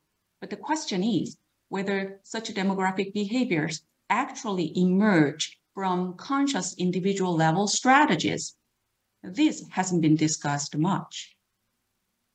So I started uh, this research from these two motivations. Uh, one is to find out the link between inequality and fertility, and the other is to find out the link between macro level changes and micro level individual fertility decision making. I am taking a more of a cultural approach that emphasizes the importance of ideational factors like narratives, values, norms, individual level strategies in fertility decision. The research question is pretty straightforward and simple. Do the narratives of fertility among Korean young adults vary by class or gender? And for that, I used uh, 2018 Korean General Social Survey linked in-depth interview data. It's a sort of data-linked nested study uh, sampling respondents for semi-structured interviews from a nationally representative survey. There are some interesting methodological issues, but I'll skip them and present the key findings. So the four most important finding is that there is a dominant narrative widely shared uh, regardless of gender and class. It takes a form like if you can take responsibility, better not to give up, uh, give up birth. Uh, in Korean, 책임질 수 없으면 낳지 마라. This narrative shows some variation across class and gender, but mostly it emphasizes that it is parental responsibility to provide good environment, uh, especially good education to children for their success. As such, setting a very high standard for fertility is commonly observed across all socioeconomic groups. And this challenges previous cultural interpretation on low SES women's uh, non-marital childbearing in US. In uh, Edin and Kefalas' famous study, the dominant narrative uh, Promises I Can Keep is built around meaning and purposes, not financial well-being. So in US, low SES women tend to set high economic bar for marriage, but not for fertility, which is strikingly different from what this research found in Korea. There is a slight difference in terms of elements and emphasis. I'll show uh, some of the representative interview excerpt. Um, here's a middle-class man's narrative. I'll read uh, uh, a little. A good father is a rich father. Now I live in Seoul. All the apartments are expensive, but the important thing is to be in the good hakgun, good school district. You have to send your kids to a good school to get good education and to get meet good friends. If your children grow up that way, they'll have more chances to succeed in the future. But for that, you need lots of money. And there is an interesting code too, another uh, showing some of you know status competition uh, kids these days are clever, like bullying other kids living in Chugong, uh, public housing apartment, you know. So you have to make sure your kids don't feel cheap. Um, uh, this uh, is a is this is from a man in uh, his 30s uh, working in a, a, Korea conglomerate. And this is middle class uh, woman's uh, narrative. Um, is similar uh, building a high, in terms of building a high fertility bar, um, uh, she says, uh, you have to take responsibility for giving uh, birth to a baby. You have to provide what they want, whether it's school or something like a studying abroad.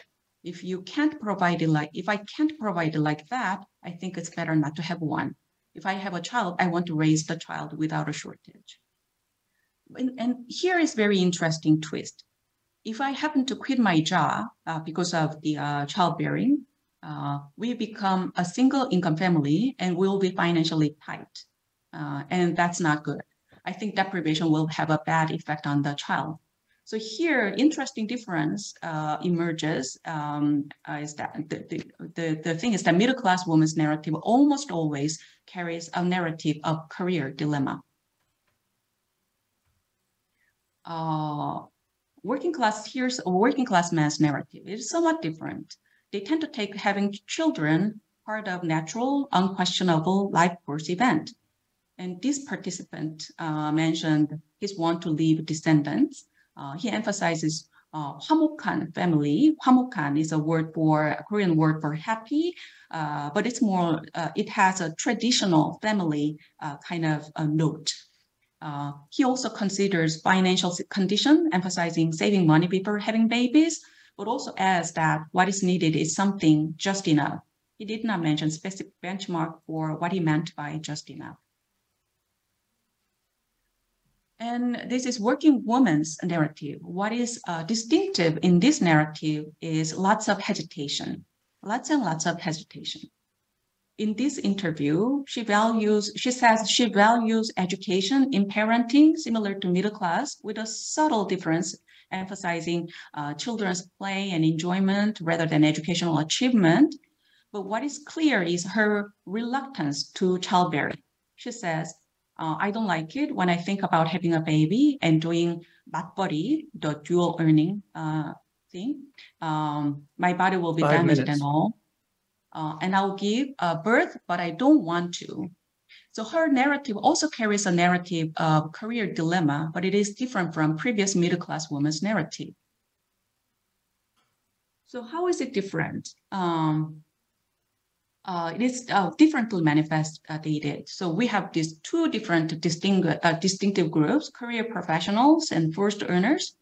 Uh, career prof- professionals likely to be high educated say that I want to get promoted and I feel like I'm going to fall behind among my colleagues if I have a baby. She's, uh, so she's afraid of her career interruption. Uh, whereas forced earners likely to be uh, low educated, she was different thing. I'm afraid I have to keep working to raise a baby because uh, my body is a must uh, these days. Uh, dual earning is a must these days. But doing both uh, is so hard for a woman. It's hardly it's hard physically. So uh, I read. Um, so we can read that in the context of a long work hour culture and strong ideal worker norm prevalent in almost all workplaces in Korea, professional women afraid of career in disruption while child- childbearing, while unskilled women afraid of being forced to work and second shift for child rearing. So here's a summary. We saw in Korea, there appears a dominant narrative of fertility. If you can't take responsibility, you'd better not to give birth. Uh, this narrative, setting the fertility bar much higher than the marriage bar, is mostly most clearly articulated among middle-class men and women, but is widespread across all socioeconomic groups. So instead of diverging values, uh, we see widespread adoption of mainstream values. So how can we interpret this? I think we should consider, we should pay more attention to the role of diffusion of new ideas in the change of fertility. And in diffusion, it is the middle class that uh, leads the social contagion. As inequality increases, it increases middle class anxiety to fear downward mobility. To avoid the risk of downward mobility, middle class invest more in their children's education. They set the fertility bar even higher. Um, and through gossips, conversational interactions, and popular media, the middle class narrative of fertility dominates the discursive representation. If, um, I think it is similar to Ishizuka's recent finding uh, of the convergence to middle class parenting norms in, in the US as well. So I, I argue that widespread adoption of middle class narrative of fertility is a novel driver, weakening uh, driver of weakening differential fertility in the context of uh, rising inequality. So what is the policy implication? Uh, I think we can uh, ask this question. It's a little bit negative, um, uh, sad uh, prediction, but it is likely that the gender egalitarianist prediction on the utility uh, fertility U curve may not be realized in the context of rising inequality and polarization of women's labor market in Korea. Um, in the presence of a high fertility bar, maintaining dual earning becomes ever more important to secure economic stability of family, a necessary condition for childbearing decision. However, the Korean corporate work environment still incompatible with workers with family responsibilities, uh, mainly uh, women, affect negatively women's childbearing intention, both middle-class, uh, career-oriented professionals and working-class forced earners. So I would say um, uh, changing Korean workplace culture uh, so it's not to restrict women's choice between work and baby can have a positive impact on women's fertility decision in all socioeconomic positions. Um, and uh, the, the US has the prevention of family responsibility discrimination. Um, and I think it's a good uh, example and it can be a good beginning to uh, solve this issue. Thank you. Thank you very much. Okay, uh, our second presenter in this session is Jennifer Silva. Jennifer's an assistant professor in the School of Public and Environmental Affairs at Indiana University. And as you can see on the screen, her title is Navigating an Uncertain Future, How American Young Adults Narrate Their Experiences of Economic Insecurity and Social Upheaval in the 21st Century. Uh, thank you. Thank you so much for inviting me to be part of this event. It's been really exciting to learn from all of you. I wanted to start today by just talking a little bit about studying the middle class and especially studying subjective experiences. Policy research on the American and Korean middle class are, is often dominated by quantitative methodologies, large scale surveys, administrative data, which are crucial.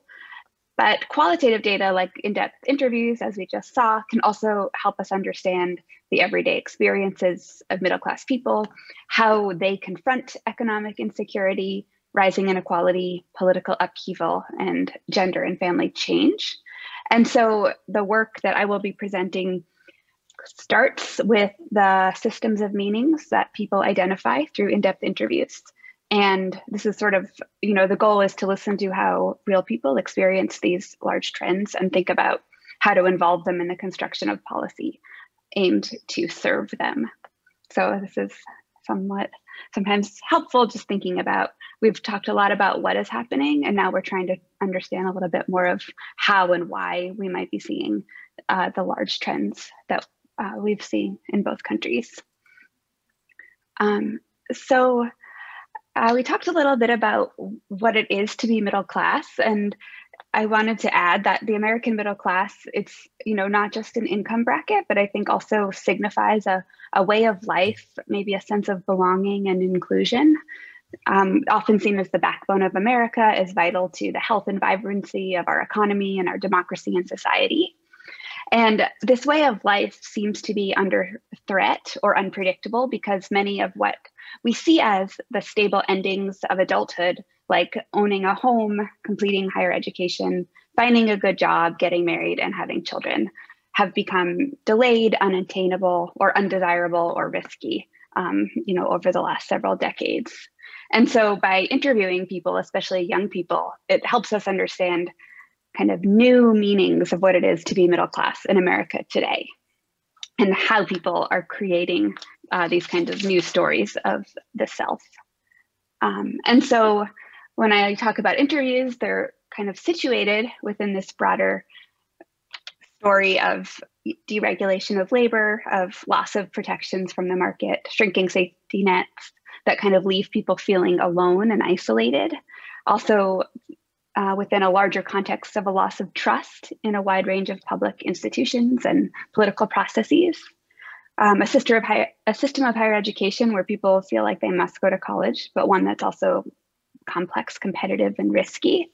Um, and also, as we just heard about, destabilizing of marriage, you know, persistent burden of second shift on women, time squeeze, and also uh, rise of non-marital childbearing.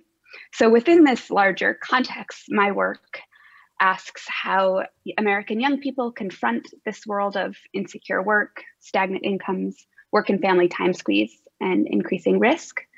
Um, I'm also interested in these sort of deeper questions about how people forge what feels like a meaningful life, how they deal with fear and disappointment, how they think about their futures, and also how race and gender identity shape people's opportunities and their constraints, as well as how they think about politics and the self and um, where they belong. And um, I'll be drawing on um, many studies of middle class and working class Americans um, that I've conducted from about 2014 onward, um, collaborations with uh, Robert D. Putnam, uh, with the Brookings Institution, and also the Roosevelt Project at MIT. And uh, so altogether, I've, I think I've conducted about 600 interviews. Um, and then what I'll be saying today is also informed by prominent work from social scientists and sociology of work and gender, economic inequality, and um, political life.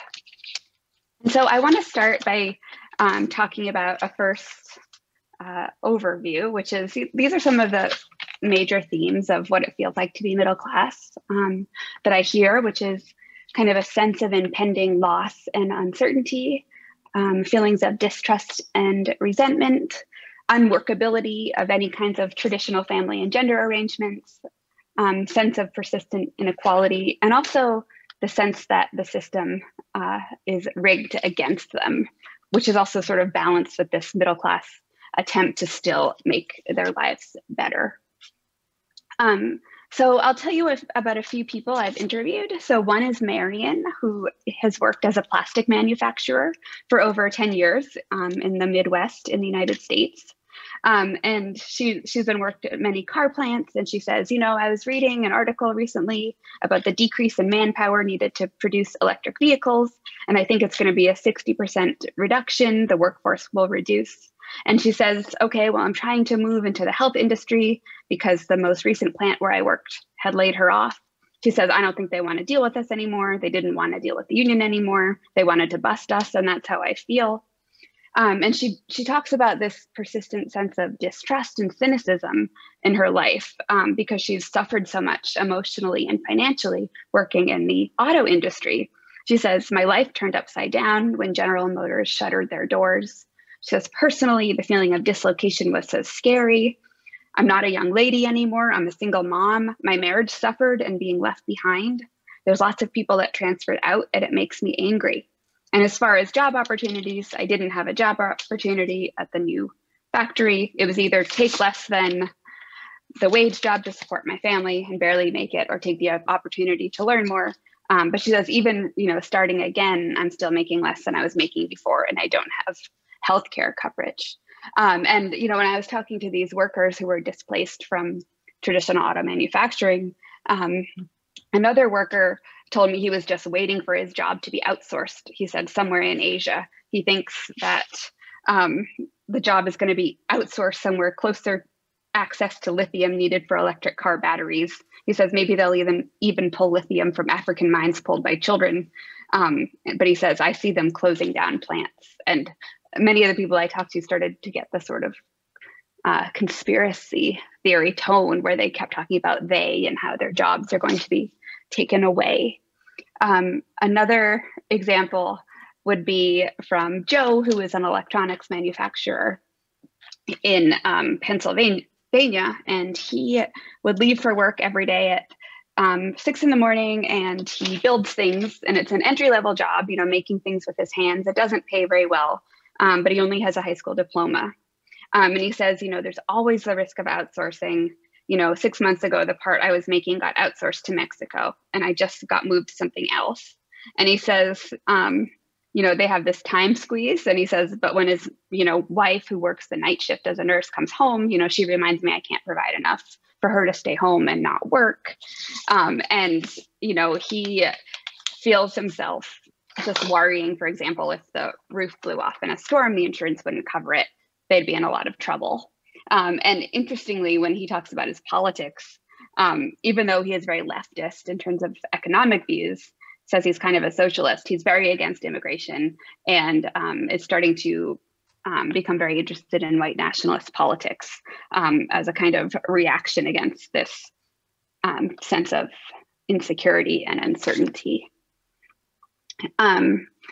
So here's another example, which is Diana, who's a Hispanic woman living in Nevada. Um, and she, I interviewed online. She was actually, she was divorced. She had four kids. She had just gotten engaged again. Um, she was trying to work as a virtual assistant remotely by day and then trying to take classes at night. Um, and so she basically says, you know, she got divorced. She has to be able to survive on her own. She doesn't want to ever have to depend on a man again to pay her bills. Um, but at the same time, um, she's been tired of working where she feels discriminated against. Um, she says, I can't not work a flexible schedule. She says, I have to have flexibility. Um, when her son was born, you know, she took four weeks off of work unpaid for maternity leave. And then she said her boss gave her job to someone else. Um, and so she said she was so mad, she was so jaded. And that's why she decided she wanted to work only for herself. Um, so she got a virtual assistant job online. Um, and she said she's actually very enthusiastic about it because she's taking care of her baby. She has no childcare. She's but she's still able to breastfeed and have her baby eating and napping. And then while he naps, she's able to work on her virtual job. Um, and she says she tells everybody like, go get a laptop at the pawn shop. You know, she says if your husband gets laid off, there can be work for you because you can work around your kids' nap time. And she says if your partner gets laid off, he can watch the kids for you so you can, you know, still make money. Um, and one of the interesting parts about Diana is that um, she says, I feel very bad because she knows it's a really bad time in the economy. But she goes, Well, you know, maybe if the housing market crashes, though, maybe I'll be able to buy a house one day. Um, and she's like, you know, maybe I won't be just sitting here like I am now. Like, is my rent going to go up in a year and I won't be able to pay it? So she's like trying to be optimistic about, you know, every part of her life. Um, to take it from another point of view, there would be Elijah. He's a 31 year old man who lived in Washington, D.C., and he was an attorney. Um, and he worked at a very prestigious corporate law firm. And he said, you know, you have to have uh, 80 hours. And he says, but, you know, 75 of them are billable hours. And so there's always this pressure to be at work more and more hours um, every day. Um, and he said, so he and his wife is also a lawyer, and they got pregnant right away after they were married. Um, and they both worked right up until the birth. And then she took off four months, partly paid and partly unpaid. But Elijah felt like he couldn't take any time off. He says he took almost two weeks, but he said, I couldn't feel like I could take more, the pressure of demands from clients. He's like, Yeah, no one's ever going to be gone for a whole month. Um, and he says, like, yeah, the last firm I was at, they told us we had unlimited vacation, which means we have no vacation. Um, because yeah, you finish all your work and you can go, but then they're going to fire me and say I'm not working enough. Um, and he and his wife actually eventually got divorced. Um, they were, you know, they put their daughter in daycare. That was like paying another month's rent for two thousand dollars a month. Um, and he said it was just a huge adjustment. You know, this person. He said your sleep schedule, your not sleep schedule making sure the baby had everything she needed, and then working and trying to be present and involved. And he said, You only have so much bandwidth if you're already burnt out. Both people burnt out from work, very stressful, long hours. Many people, home is too stressful. And then you're kind of stressing each other out and hurting each other. Um, and so now he is taking care of his daughter every other weekend. He pays child support. And he told me he's actually excited. He's going to leave his law firm, start his own business, even though he knows it's also very risky um, because he feels like he needs to have control over his time, just the way that Diana did with her laptop from the pawn shop. Um, and so I'll just provide one more example. And this is uh, Katie, who's a 25 year old white woman um, who lives in rural Kansas. And um, she was about $30,000 in debt when I interviewed her. She had just graduated from a nearby regional college. Um, and she told me, you know, right now my loans are on hold because I don't make enough income, so I can't pay them back. Um, but she's really worried that she'll get into more debt and have to declare bankruptcy, but she'll never, you know, she says, I'll always have that debt. And she says she wants to get more education, but she's not sure if she should take this next step because um, it will be so expensive. Um, and she talks a lot about how she paid so much for the social science degree, but she isn't really sure what to do with it. Um, she said, You know, I have a social science degree, but everyone thinks that means I should be a social worker, but I don't have a social work license. Um, so she tried to, you know, volunteer at a non uh, profit, but she couldn't live on this low salary. And she's like, So basically, why do I have this degree? What am I doing?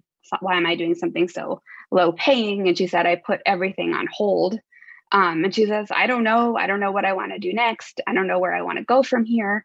I've always had like kind of a dream of what I wanted to do, but I have no idea what to do now that this didn't work out. Um, and she was interesting because when we talk about having children or getting married, she's like, I definitely do want to get married, but I'm kind of in a situation where I'm not sure what's going to happen with my job, whether I'm going to move out of state. I'm afraid of getting attached to someone and then wanting to, you know, move. And then she says, Can I really take care of a kid and add to my debt that I already have? And she says she's actually considered adopting a child who's already like older to avoid having to pay for like the year zero to 12. So she says, if I adopt a kid who's 12 or so, that means I have to take care of them for six years. And then after that, I could still take care of them to the extent because I'm adopting them, but I wouldn't have as much financial responsibility as I would if I started with a newborn. Um, so I've also thought about that as well. Um, and so Katie is, you know, she's, you know, she's very thoughtful and informed. She tells me about how, you know, COVID 19 has made inequality worse, about how there's the people, you know, who can't afford laptops and the people who are so protected about it because they can work from home and keep their benefits.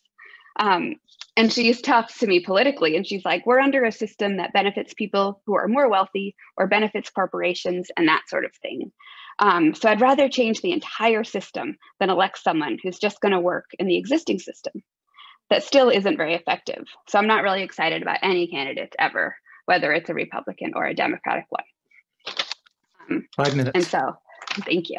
And so that's kind of um, Katie.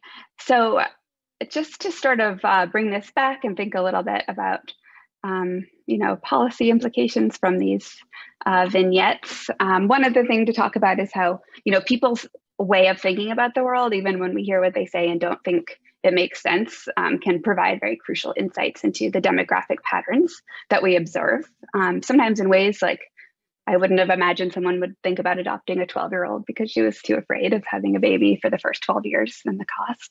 Um, and, you know, to think about how well intentioned policies could fail to reach people if we, you know, make assumptions about what motivates their behavior, but don't always understand what's really driving it. Um, and so I think the work that I've talked to today, um, you know, does draw attention to stagnant incomes, uh, precarity of jobs and benefits, uh, reliance on debt, and also like the huge time squeeze facing Americans. Um, and some of the policy solutions that make might come out of these would be, you know, job training, more support for education, paid family leave, and affordable childcare.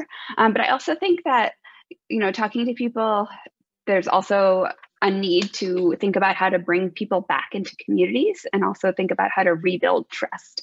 Because many of the people I talked to felt like they were kind of isolated, didn't trust anyone, didn't believe that their voice mattered in terms of policy or political action, and were kind of um, disabling themselves politically rather than being like the backbone of, of democracy in the middle class. Um, but I would say that most of the people I talk to are optimistic um, and kind of ready for big structural changes that support everyday people over corporate interests and politicians. Okay, thank you. Excellent. Thank you, Jennifer. Okay. Uh, our third presentation uh, in this session is by Bungu Kei. Uh, and the title here is Perception of Social Mobility in South Korea.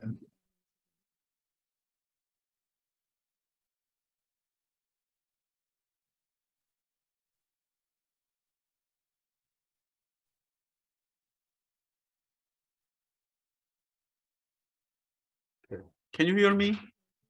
Okay, let me start. So, so thank you for having me here. And today I'm going to talk about uh, the perception of social mobility in South Korea. So even though I'm dealing with uh, some perception, uh, uh, this is uh, different from the earlier presentation uh, using the qualitative studies. In this study, I'm using some survey data. In this study, I measured the perception of the intergenerational income mobility by using a randomized vignette design study. I compare these perceptions across the different social groups and compare the perceived and the real chance of intergenerational income mobility. I also compare the Korean case with the American case.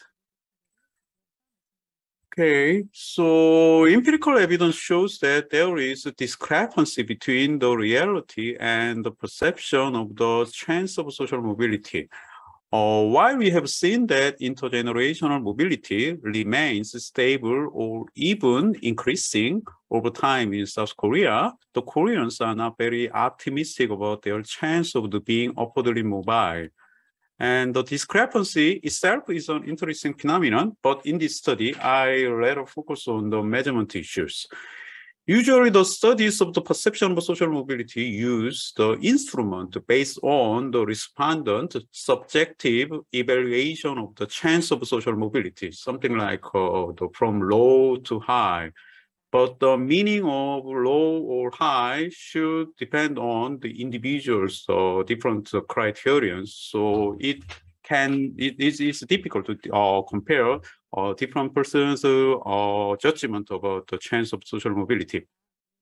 So in these studies, we I apply uh, a measure developed by the Xiwei Chen and her student, uh, published in 2019, to measure the perception of the social mobility. Uh, this study, so the titled Americans Overestimate the Intergenerational Persistence uh, in Income Ranks. The primary finding of this study is shown in this graph. Uh, it, it shows the, that the rank-rank relationship in the perception and the reality in the United States. While the purple dashed or diagonal lines represent the perfect association between parents and uh, offspring's income rank, that means that the children's income rank is exactly same as the uh, parent income rank. The horizontal line is the opposite scenarios like uh, the no association between them. The red line uh, represent real rank-rank slope uh, from the Chetty's and others uh, economy studies, which is uh, 0.34, and the brown line shows that the perceived rank-rank slope collected from the uh, Chen and Wen studies, which is uh, 0.65 uh, and much steeper than the real slope. This difference shows that the Americans kind of overestimate the intergenerational positions in the income rank. And in addition to this discrepancy, they shows that the, the perceived uh, uh, rank rank slope is differ by different social group, uh, like uh, education, household income, and the political ideologies. And slope for the better educated and higher income and the liberals are steeper than uh, their uh, counterpart. So in this study, I try to uh, replicate the, these previous studies uh, in American case the, in the in Korean context to measure the perceived or perceived perception of the social mobility. I use 2018 uh, KMOS data, which is an online survey. I'm going to talk about how uh, the KMOS measure the uh, perception of social mobility in the next slide. And the inform uh, the problem in kind of limitation of this study is that uh, I cannot get some kind of very reliable estimate for the rank rank slope like in the uh, United States. So in this study, I use estimate from a previous study that I participated using the population level administrative data is called uh, National Health Insurance Service data uh, from 2002 and 2016, and make comparison and also uh, and compare uh, the real slopes and the perceived slope. And I also try to make a comparison across uh, subgroups of perception. I also applied a log linear models with the uh, ha that has the main diagonal parameters to see how people evaluate the chance of uh, intergenerational income mobility. Okay, so here is the measurement. The slide shows how I measure the perception of social mobility, which is borrowed, uh, borrowed from the Chen and Wen's the previous studies. A parental income rank is given to the respondents randomly. Uh, respondents are asked to assign some value for the children's expected income ranks or given their uh, parental income. This question is asked three times for each individual to increase the, the data point. Hence, we have about uh, 3,000 data points to assess the perceived rank-rank slope. Uh, in the next uh, several slides, I'm showing that the assignment of income rank is uh, parental income rank is really random by the survey design because we are using uh, online survey, so we can manipulate the uh, parental income randomly. So this shows, this graph shows the distribution of parental income for each trial. Parental income is uh, uh, income evenly distributed uh, each time, so each time. So kind of showing that uh, this uh, variable is randomly assigned.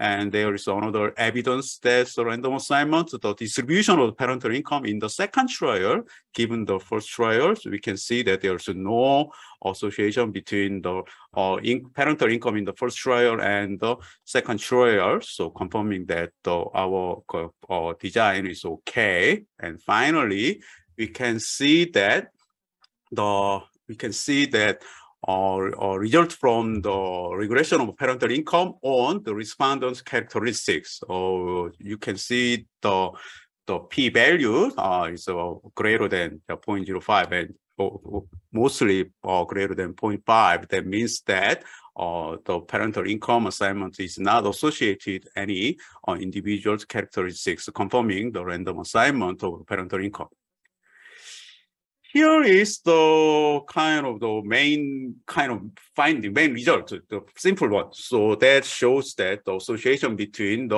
uh, parental income and the children's income.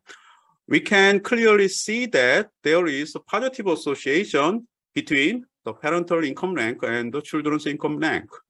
Uh, in particular, the Koreans think that the chance of intergenerational immobility of income rank is very high at the bottom and at the top of the income distribution. You can see that here, here, here, this is the bottom of the distribution and the, this number shows the uh, parental income rank. So most of the, the, the lowest uh, income rank is recruited from the, the parents or parents of the very poor pa uh, parents. But so we can see that uh, other sectors does not uh, inflow uh, or flow into that poor part. And the same thing happened to the, the, the highest level of the income. So people think that uh, the highest income uh, children uh, will be uh, recruited from the highest income parents.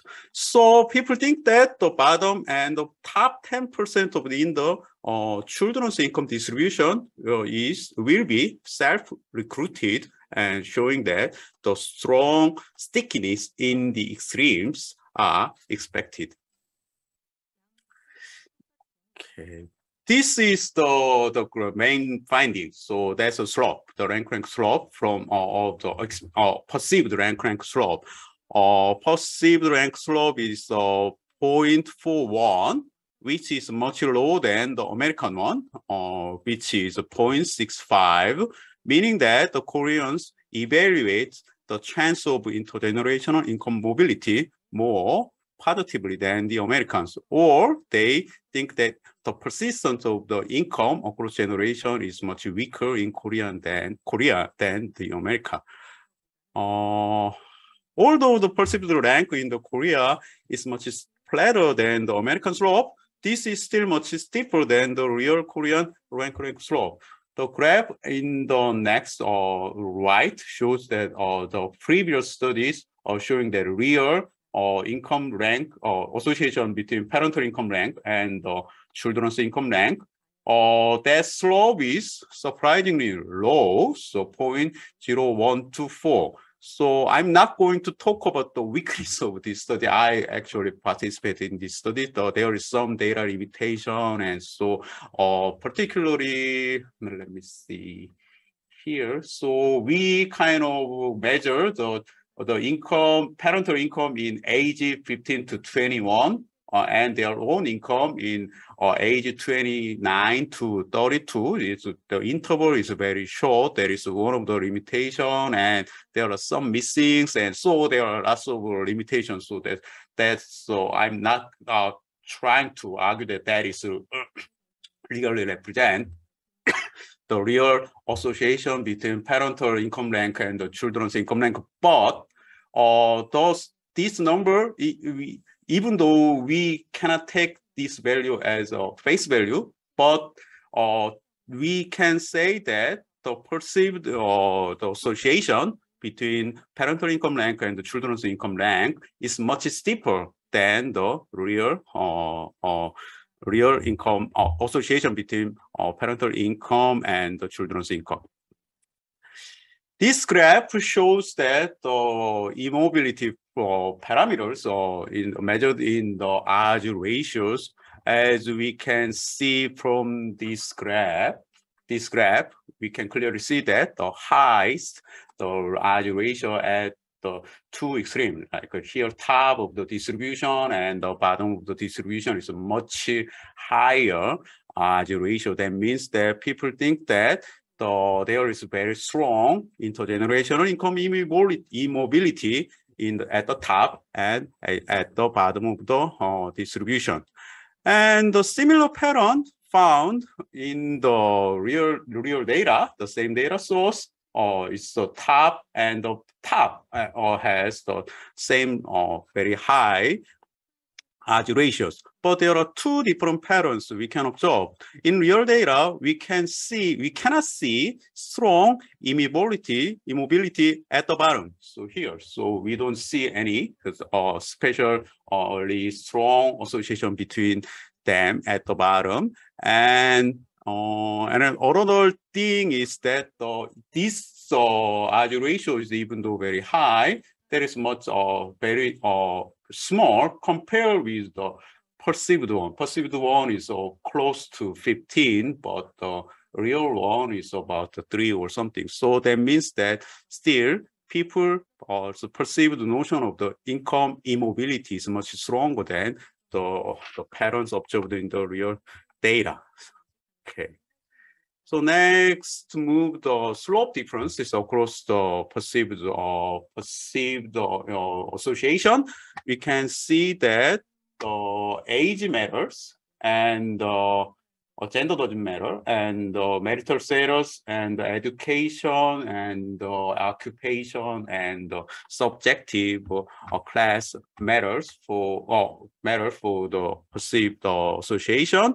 Uh, and this is the graph for the, by age. We can see that older people uh, has a flatter, a flatter, uh, think the association between parental income and uh, uh, children's income rank is uh, weaker than the younger people. And uh, here, never married, uh, slope is a little bit uh, steeper and professional and managerial job holders uh, uh, slope is uh, kind of steeper than the non-professional or uh, managerial job holders. Okay, let me wrap up my findings. First, the perceived rank rank slope in Korea uh, is much flatter than the American slope, but still this is much steeper than the Korean reality. Second, we can see strong stickiness at the extremes, at the bottom and at the top. And finally, rank-rank slopes differs by age and SES. And there are some issues not uh, fully discussed in this presentation, such as how we can interpret the rank-rank slope and uh, the subgroup differences in the rank-rank slope. And so I don't have enough time to dis fully discuss about that. So any suggestion and comments should be appreciated. And thank you for your attention. Thank you. Okay, wonderful. This is such a rare uh, thing that we actually have a little more time than planned uh, at the end of presentations. And by the way, I, I, apologize. I forgot to say at the beginning that uh, Bungu is an associate professor of sociology at Kookmin uh, University. Uh, so we've got three interesting presentations uh, on perceptions and views and how people are thinking about trying to understand uh, income inequality and other elements of the present situation in the U.S. and uh, and South Korea. Um, let me just check the chat real quick. Okay, there's one question. Uh, let's go ahead and do that, and then we can open the floor unless others appear in the chat. This is for Jennifer says, thank you for sharing your interview data. Really interesting. Could you share any United States policies or systems that can alleviate the economic instability of the American young adults that were discussed in your interviews? Sure. Um, I'm trying to think about what was discussed. Uh, so for me, I would I would focus on policies that would, um, I think, as we talked about yesterday, possibly uh, decouple uh, people's earnings from their ability to have access to benefits, um, and I would include things like um, paid, you know, maternity leave or paid parental leave in there, as well as um, more affordable childcare, because um, many of the families were trying to basically have be full-time caretakers and full-time workers all at once. Um, and um, I think uh, there was a lot of support in my interviews for um, government um, intervening in terms of more opportunities, so like more affordable education or job training for sure. Um, there was support for that as well.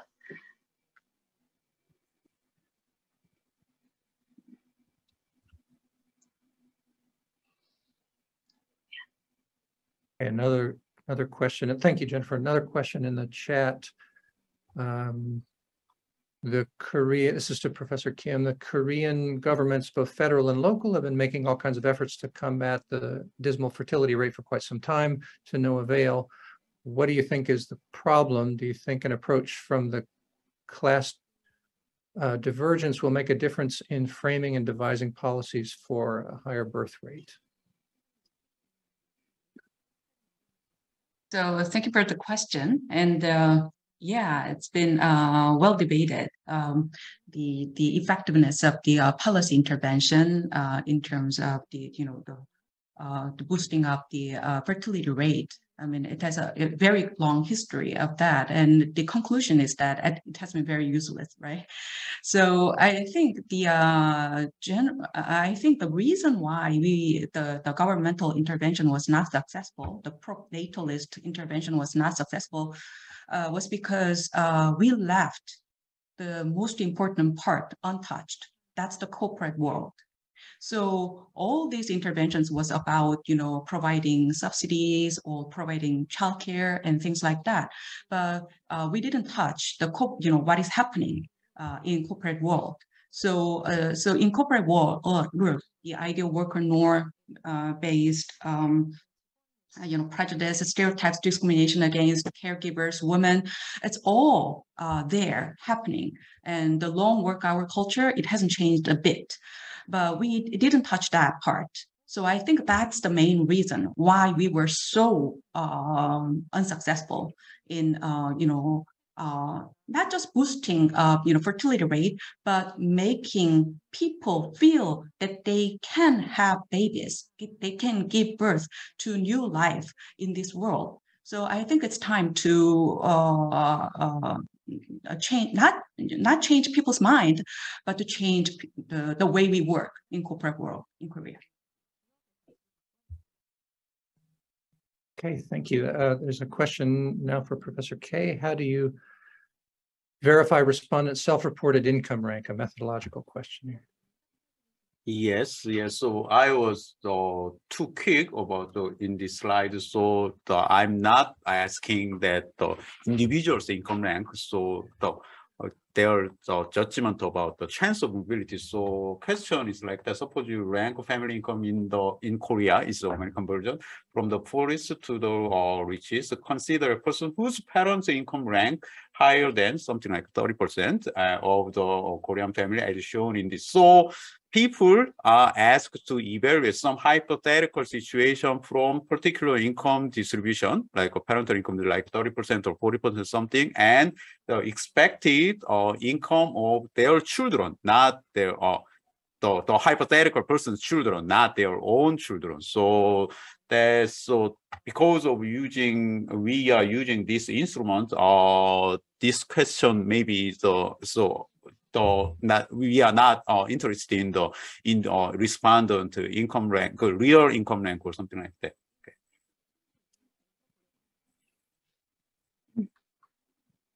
Uh, okay, there's a question from Kwang Yeong to everyone, uh, I guess, in the chat.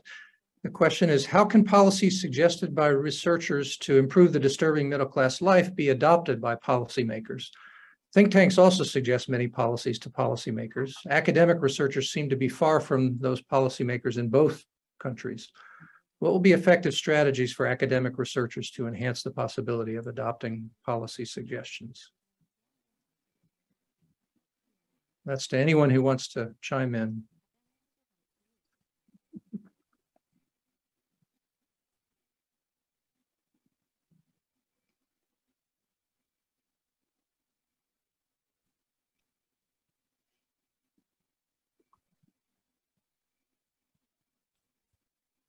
I uh, would like to explain a little bit the background of my uh, questions. And uh, nowadays, uh, there are many uh, critiques of the current uh, social problems and also some kind of a suggestion for alternative policy ideas.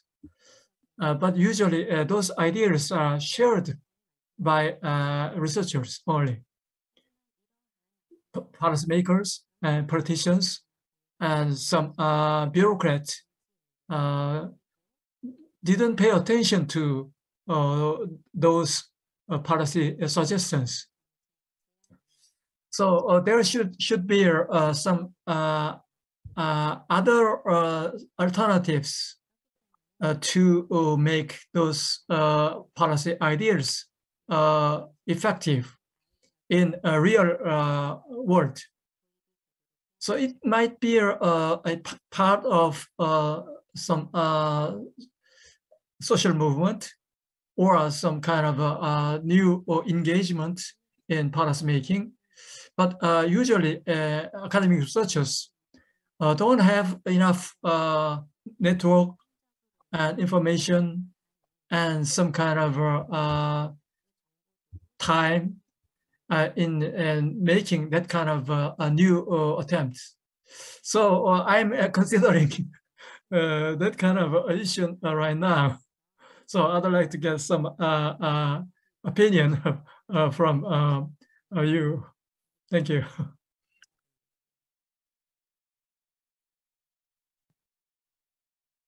Please go ahead, Jung. Yeah, I think it's an interesting, you know, question to think about. Um, and but but you know, as the old said saying goes, I mean, you can you can lead the horse to the water, but you can't make him drink, right? it's really hard. so uh, then, so, so our question is like, uh, you know, how to how to make the horse drink water or something like that. But uh, I think for that, uh, of course, I mean, we need a lot of institutional, uh, you know, things to to to make to to to funnel our ideas to you know policymakers, you know, networks, institutions, all that. I mean, you know, forum like this, it's all great. But I think uh, I think it depends on the way we deliver our our idea. Uh, I think the um, the you know so basically my idea is less critique, more solution. So without uh, providing uh, the actual workable solutions uh, of the problem, just by criticizing problem doesn't help. Uh, to make the horse drink the water, so uh, I think the um, the the make them think uh, that uh, make people think that better world is possible. Uh, we can, if we can change this and this, and you know, we can live a better life. You know, encouraging this kind of that, that kind of idea, affection, is I think really important.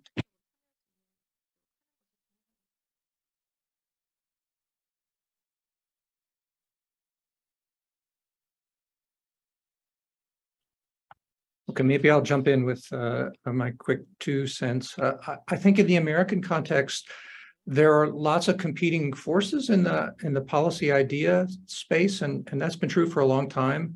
So there are corporations, there are labor unions, there are a variety of other interest groups. There are lots and lots of think tanks, especially in Washington, D.C., but also increasingly at the state level and, and trying to influence the federal government even outside of Washington, D.C. Um, and then there are all kinds of individuals uh, and and other interests, many of which have uh, have money, and then there are academics. And I, do think academics have had success at, at various moments in time. Sometimes that's with individual policy suggestions. Sometimes that's with putting forward a kind of general policy orientation. I'm thinking here of Milton Friedman, uh, who came along right at the right moment in, in history uh, and won his Nobel Prize and was very influential for a particular uh, answering a particular academic economic policy question, but then also had a lot of a lot of views and a, a way to uh, to spread his message. Uh, this has been true in the conservative legal scholars movement, also in the United States. Uh, but I think you now see it on the on the other side as as well. Um, and, and I will say that I think economists to some degree in, in the United States have always had uh, greater access to, to policymakers in terms of at least getting a listen for their, their policy suggestions. But I also think that that's changing. I see more sociologists um, uh, at least being able to, to offer their voice. You know, as to who wins out, uh, I, I, I think that's a complicated question. Uh, simple answer is that money always wins out, but I, I've grown increasingly skeptical of that kind of simplistic answer. Even though in the United States, uh, of all places, one would think that it, it's probably most likely to be true, and at various points, I, I, think it has been. But so anyway, I, I, I think it's complicated. the The best you can do is uh, is try. Um, and sometimes that means a kind of overarching policy orientation. Sometimes it might mean a very narrow, specific policy suggestion. Uh, but but maybe I'm I, I, think I've grown less pessimistic uh, as as I get older, or maybe because I see the American landscape changing a little bit for better or worse. Okay, um, does anyone have anything else to say on this particular question?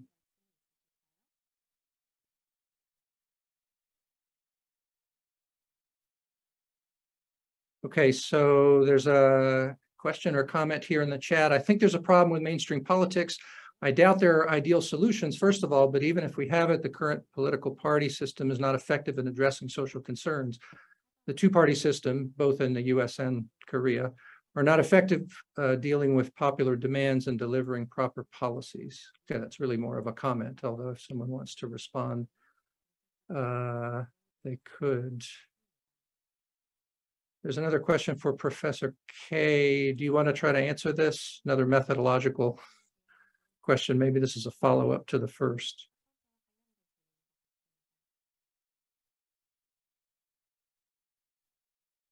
Could possibly also leave that for a, a separate conversation.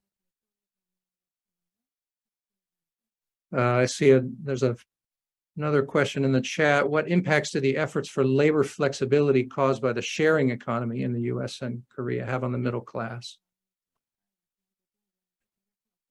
Maybe those, I, I'm not able to answer the second question. So the first question is to me, maybe somewhat technical or some data issues. So I mentioned that the, the estimates is not very reliable and kind probably underestimates the, the the, the association between parental income and the children's income. one thing is that the, the age gap between the origin and the destination. And in this study, the income source is pretty reliable, I think, because it's uh, admin data. So that's uh, based on the, the national health insurance data. They collect the uh, people's income based on uh, to assign the, the insurance, insurance, uh, insurance. So, so income source is reliable, but uh, there are some dis, uh, the differences in the reliability of the data depending on their work status. The employees or the labor income is uh, uh, captured very uh, correctly, but other sources of the income like uh, the uh, what can I how can I say this? So not labor income, but what is this? Is 사업 인컴이 뭐라고 그러죠? So the business income, some some something like so the income from some business work or some, some other source other than the labor income is not exactly captured. So there is uh, the issues of data issue, but uh, when we try to restrict our sample to both uh, parents and uh, the children's uh, or the main uh, source is uh, labor income, so we have the similar results. So uh, regardless of the income sources, or the we we get the kind of some consistent estimates like uh, the rank rank slope between point one point point one five or something like that. So uh, that was what we found, but so we still concerned that so the so kind of under uh, capturing the individual's income. Maybe there's some some some mis mistake or some loopholes in the the assessing the the insurance insurance rate. So that's kind of limitation. Okay. Can i just before we get to the sharing and gig economy can i throw in a quick question here so why why do you or anybody else think that that this is the case that Americans and uh, Koreans both uh, um, overestimate the degree of inequality of opportunity. That is to say, they think things are worse than, than they are. I know in the United States, if you ask people about the level of income or wealth inequality, they make the opposite mistake. That is to say, they think there's less inequality than there actually is. In fact, far less. I d- I don't know if that's also true in Korea. But then now we have this opposite finding when it comes to if we're let's just consider this a, a measure of equality of opportunity it, it's not a perfect one but it's it's not so bad so they they overestimate inequality of of opportunity. Why? What what, is causing this?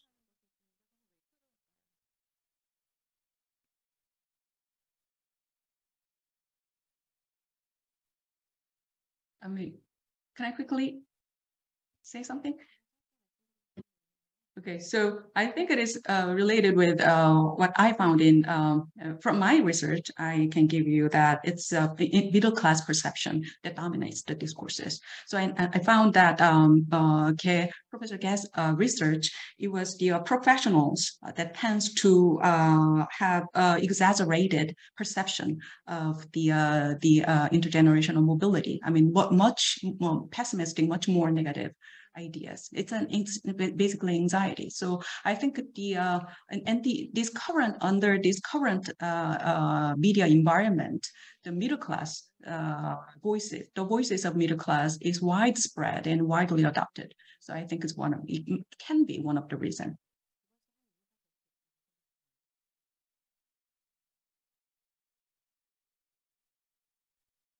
I I kind of agree with the Professor Kim's uh, interpretation. So we can see that the younger people have uh, over more overly estimated, overestimates the intergenerational persistence of income. So that should be related with their anxiety about the future. And so anxiety leads to the overestimate the kind of intergenerational persistency or something like that. So that we can say that. Yes, I agree. The long-term uh, expectation for uh, um, the mobility is quite kind of you know um, kind of decreased these days for the younger people mm-hmm. and at the same time the korean society for example uh, is actually kind of moving toward the consum- uh, you know uh, consumer society very rapidly right and they actually kind of um, you know calculate um, their power uh, for consumption. And there are a lot of kind of, you know, uh, social media actually exaggerating their consumption power uh, by upper middle class. And, you know, a lot of people's, um, you know, think that are not really kind of know reaching that actually uh, kind of um, you know uh, point. And a lot of discouragement is actually taking place uh, for the younger people. And that's another kind of you know uh, reason uh, that you know they actually feel that uh, there is a lot of inequality. And at the same time education. You know a lot of people especially younger people or you know their parents right um, you know the input for the private education is getting you know uh, important uh, for kind of entering the kind of you know privilege uh, privileged um, you know university, and that actually kind of um, experience that probably the chances, life chances, will be really kind of you know getting different because of the educational um, opportunity kind of based on the you know increasing private education um, you know among um, middle and high school students. My understanding of the uh, uh, issue uh, is based on some kind of a, a composition effect. And in early 1980s, the proportion of uh, university graduates among the same age cohort was less than 15%. So almost all uh, university graduates uh, could get good jobs. Nowadays, almost 70% of the young cohort are uh, university graduates. So most of them uh, cannot find good jobs, so-called uh, jobs in uh, conglomerate and big uh, companies uh, guaranteed uh, by good high salary. So many highly educated young people um, just complain they couldn't find good job compared to their parents. Their parents uh, has uh, many of them has has uh, uh high school uh, degree, not a university degree.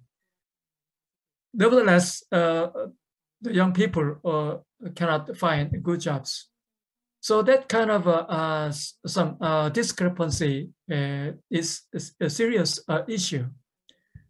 And another one is the, so nowadays the middle class expanded a lot from 1980 to 2020. So majority of kids are from middle class parents but they cannot uh, move up. They don't have a possibility of uh, upward mobility because uh, uh, upward mobility requires uh, different uh, asset. So uh, it's a uh, it's need uh, some money, capital. They, they can only maintain their uh, middle class status by education. But usually education uh, costs too much. And many of middle class kids fail to get good, get into uh, uh, good universities. So they have have some difficulty in reproducing their middle class status. So that kind of uh, uh, some uh, competition uh, effect uh, might be a, a very serious one. In uh, and so that's my explanation. Can I add one more thing? for this Please, issue. So, you know, as I showed you in the presentation, so the uh, real uh, immobility parameter is the highest in the at the top of the distribution and people the kind of we are exposed to the media and so other sources that the kind of behaviors of the top income people, the high, the very richest people. So in that distribution, in that part of, part of the population, there is a very strong intergenerational association. So it uh, exists and we kind of exposed to that story very often. So people's perception maybe uh, dominated by this kind of the top income people. So that's why we kind of overestimate the overall pattern of the intergenerational uh, association, then maybe uh, another kind of explanation to uh, explain the discrepancy between the perception and the reality. Okay, well, there's lots and lots more that we could potentially explore here, but we're out of time, unfortunately. So let me say thank you to the today's presenters and all the presenters. I've really enjoyed this, found it very stimulating. I wish we had a lot more time to continue this discussion. Uh, I'll turn it back to who. All right, thank you all presenters for your wonderful insights. This concludes the 2022 Korea-US Policy Dialogue on Economic Inequality and the Future of the Middle Class. On behalf of KDI School, I would like to thank you all for your time and commitment, despite the time difference over the last two days. We hope this dialogue have renewed everyone's interest in the topic and further hope that this will help promote an exchange of policy ideas and knowledge between the two countries, as well as between academia and the public sector, as Professor Shin has mentioned. We'll meet you again with another interesting topic next year. Thank you so very much.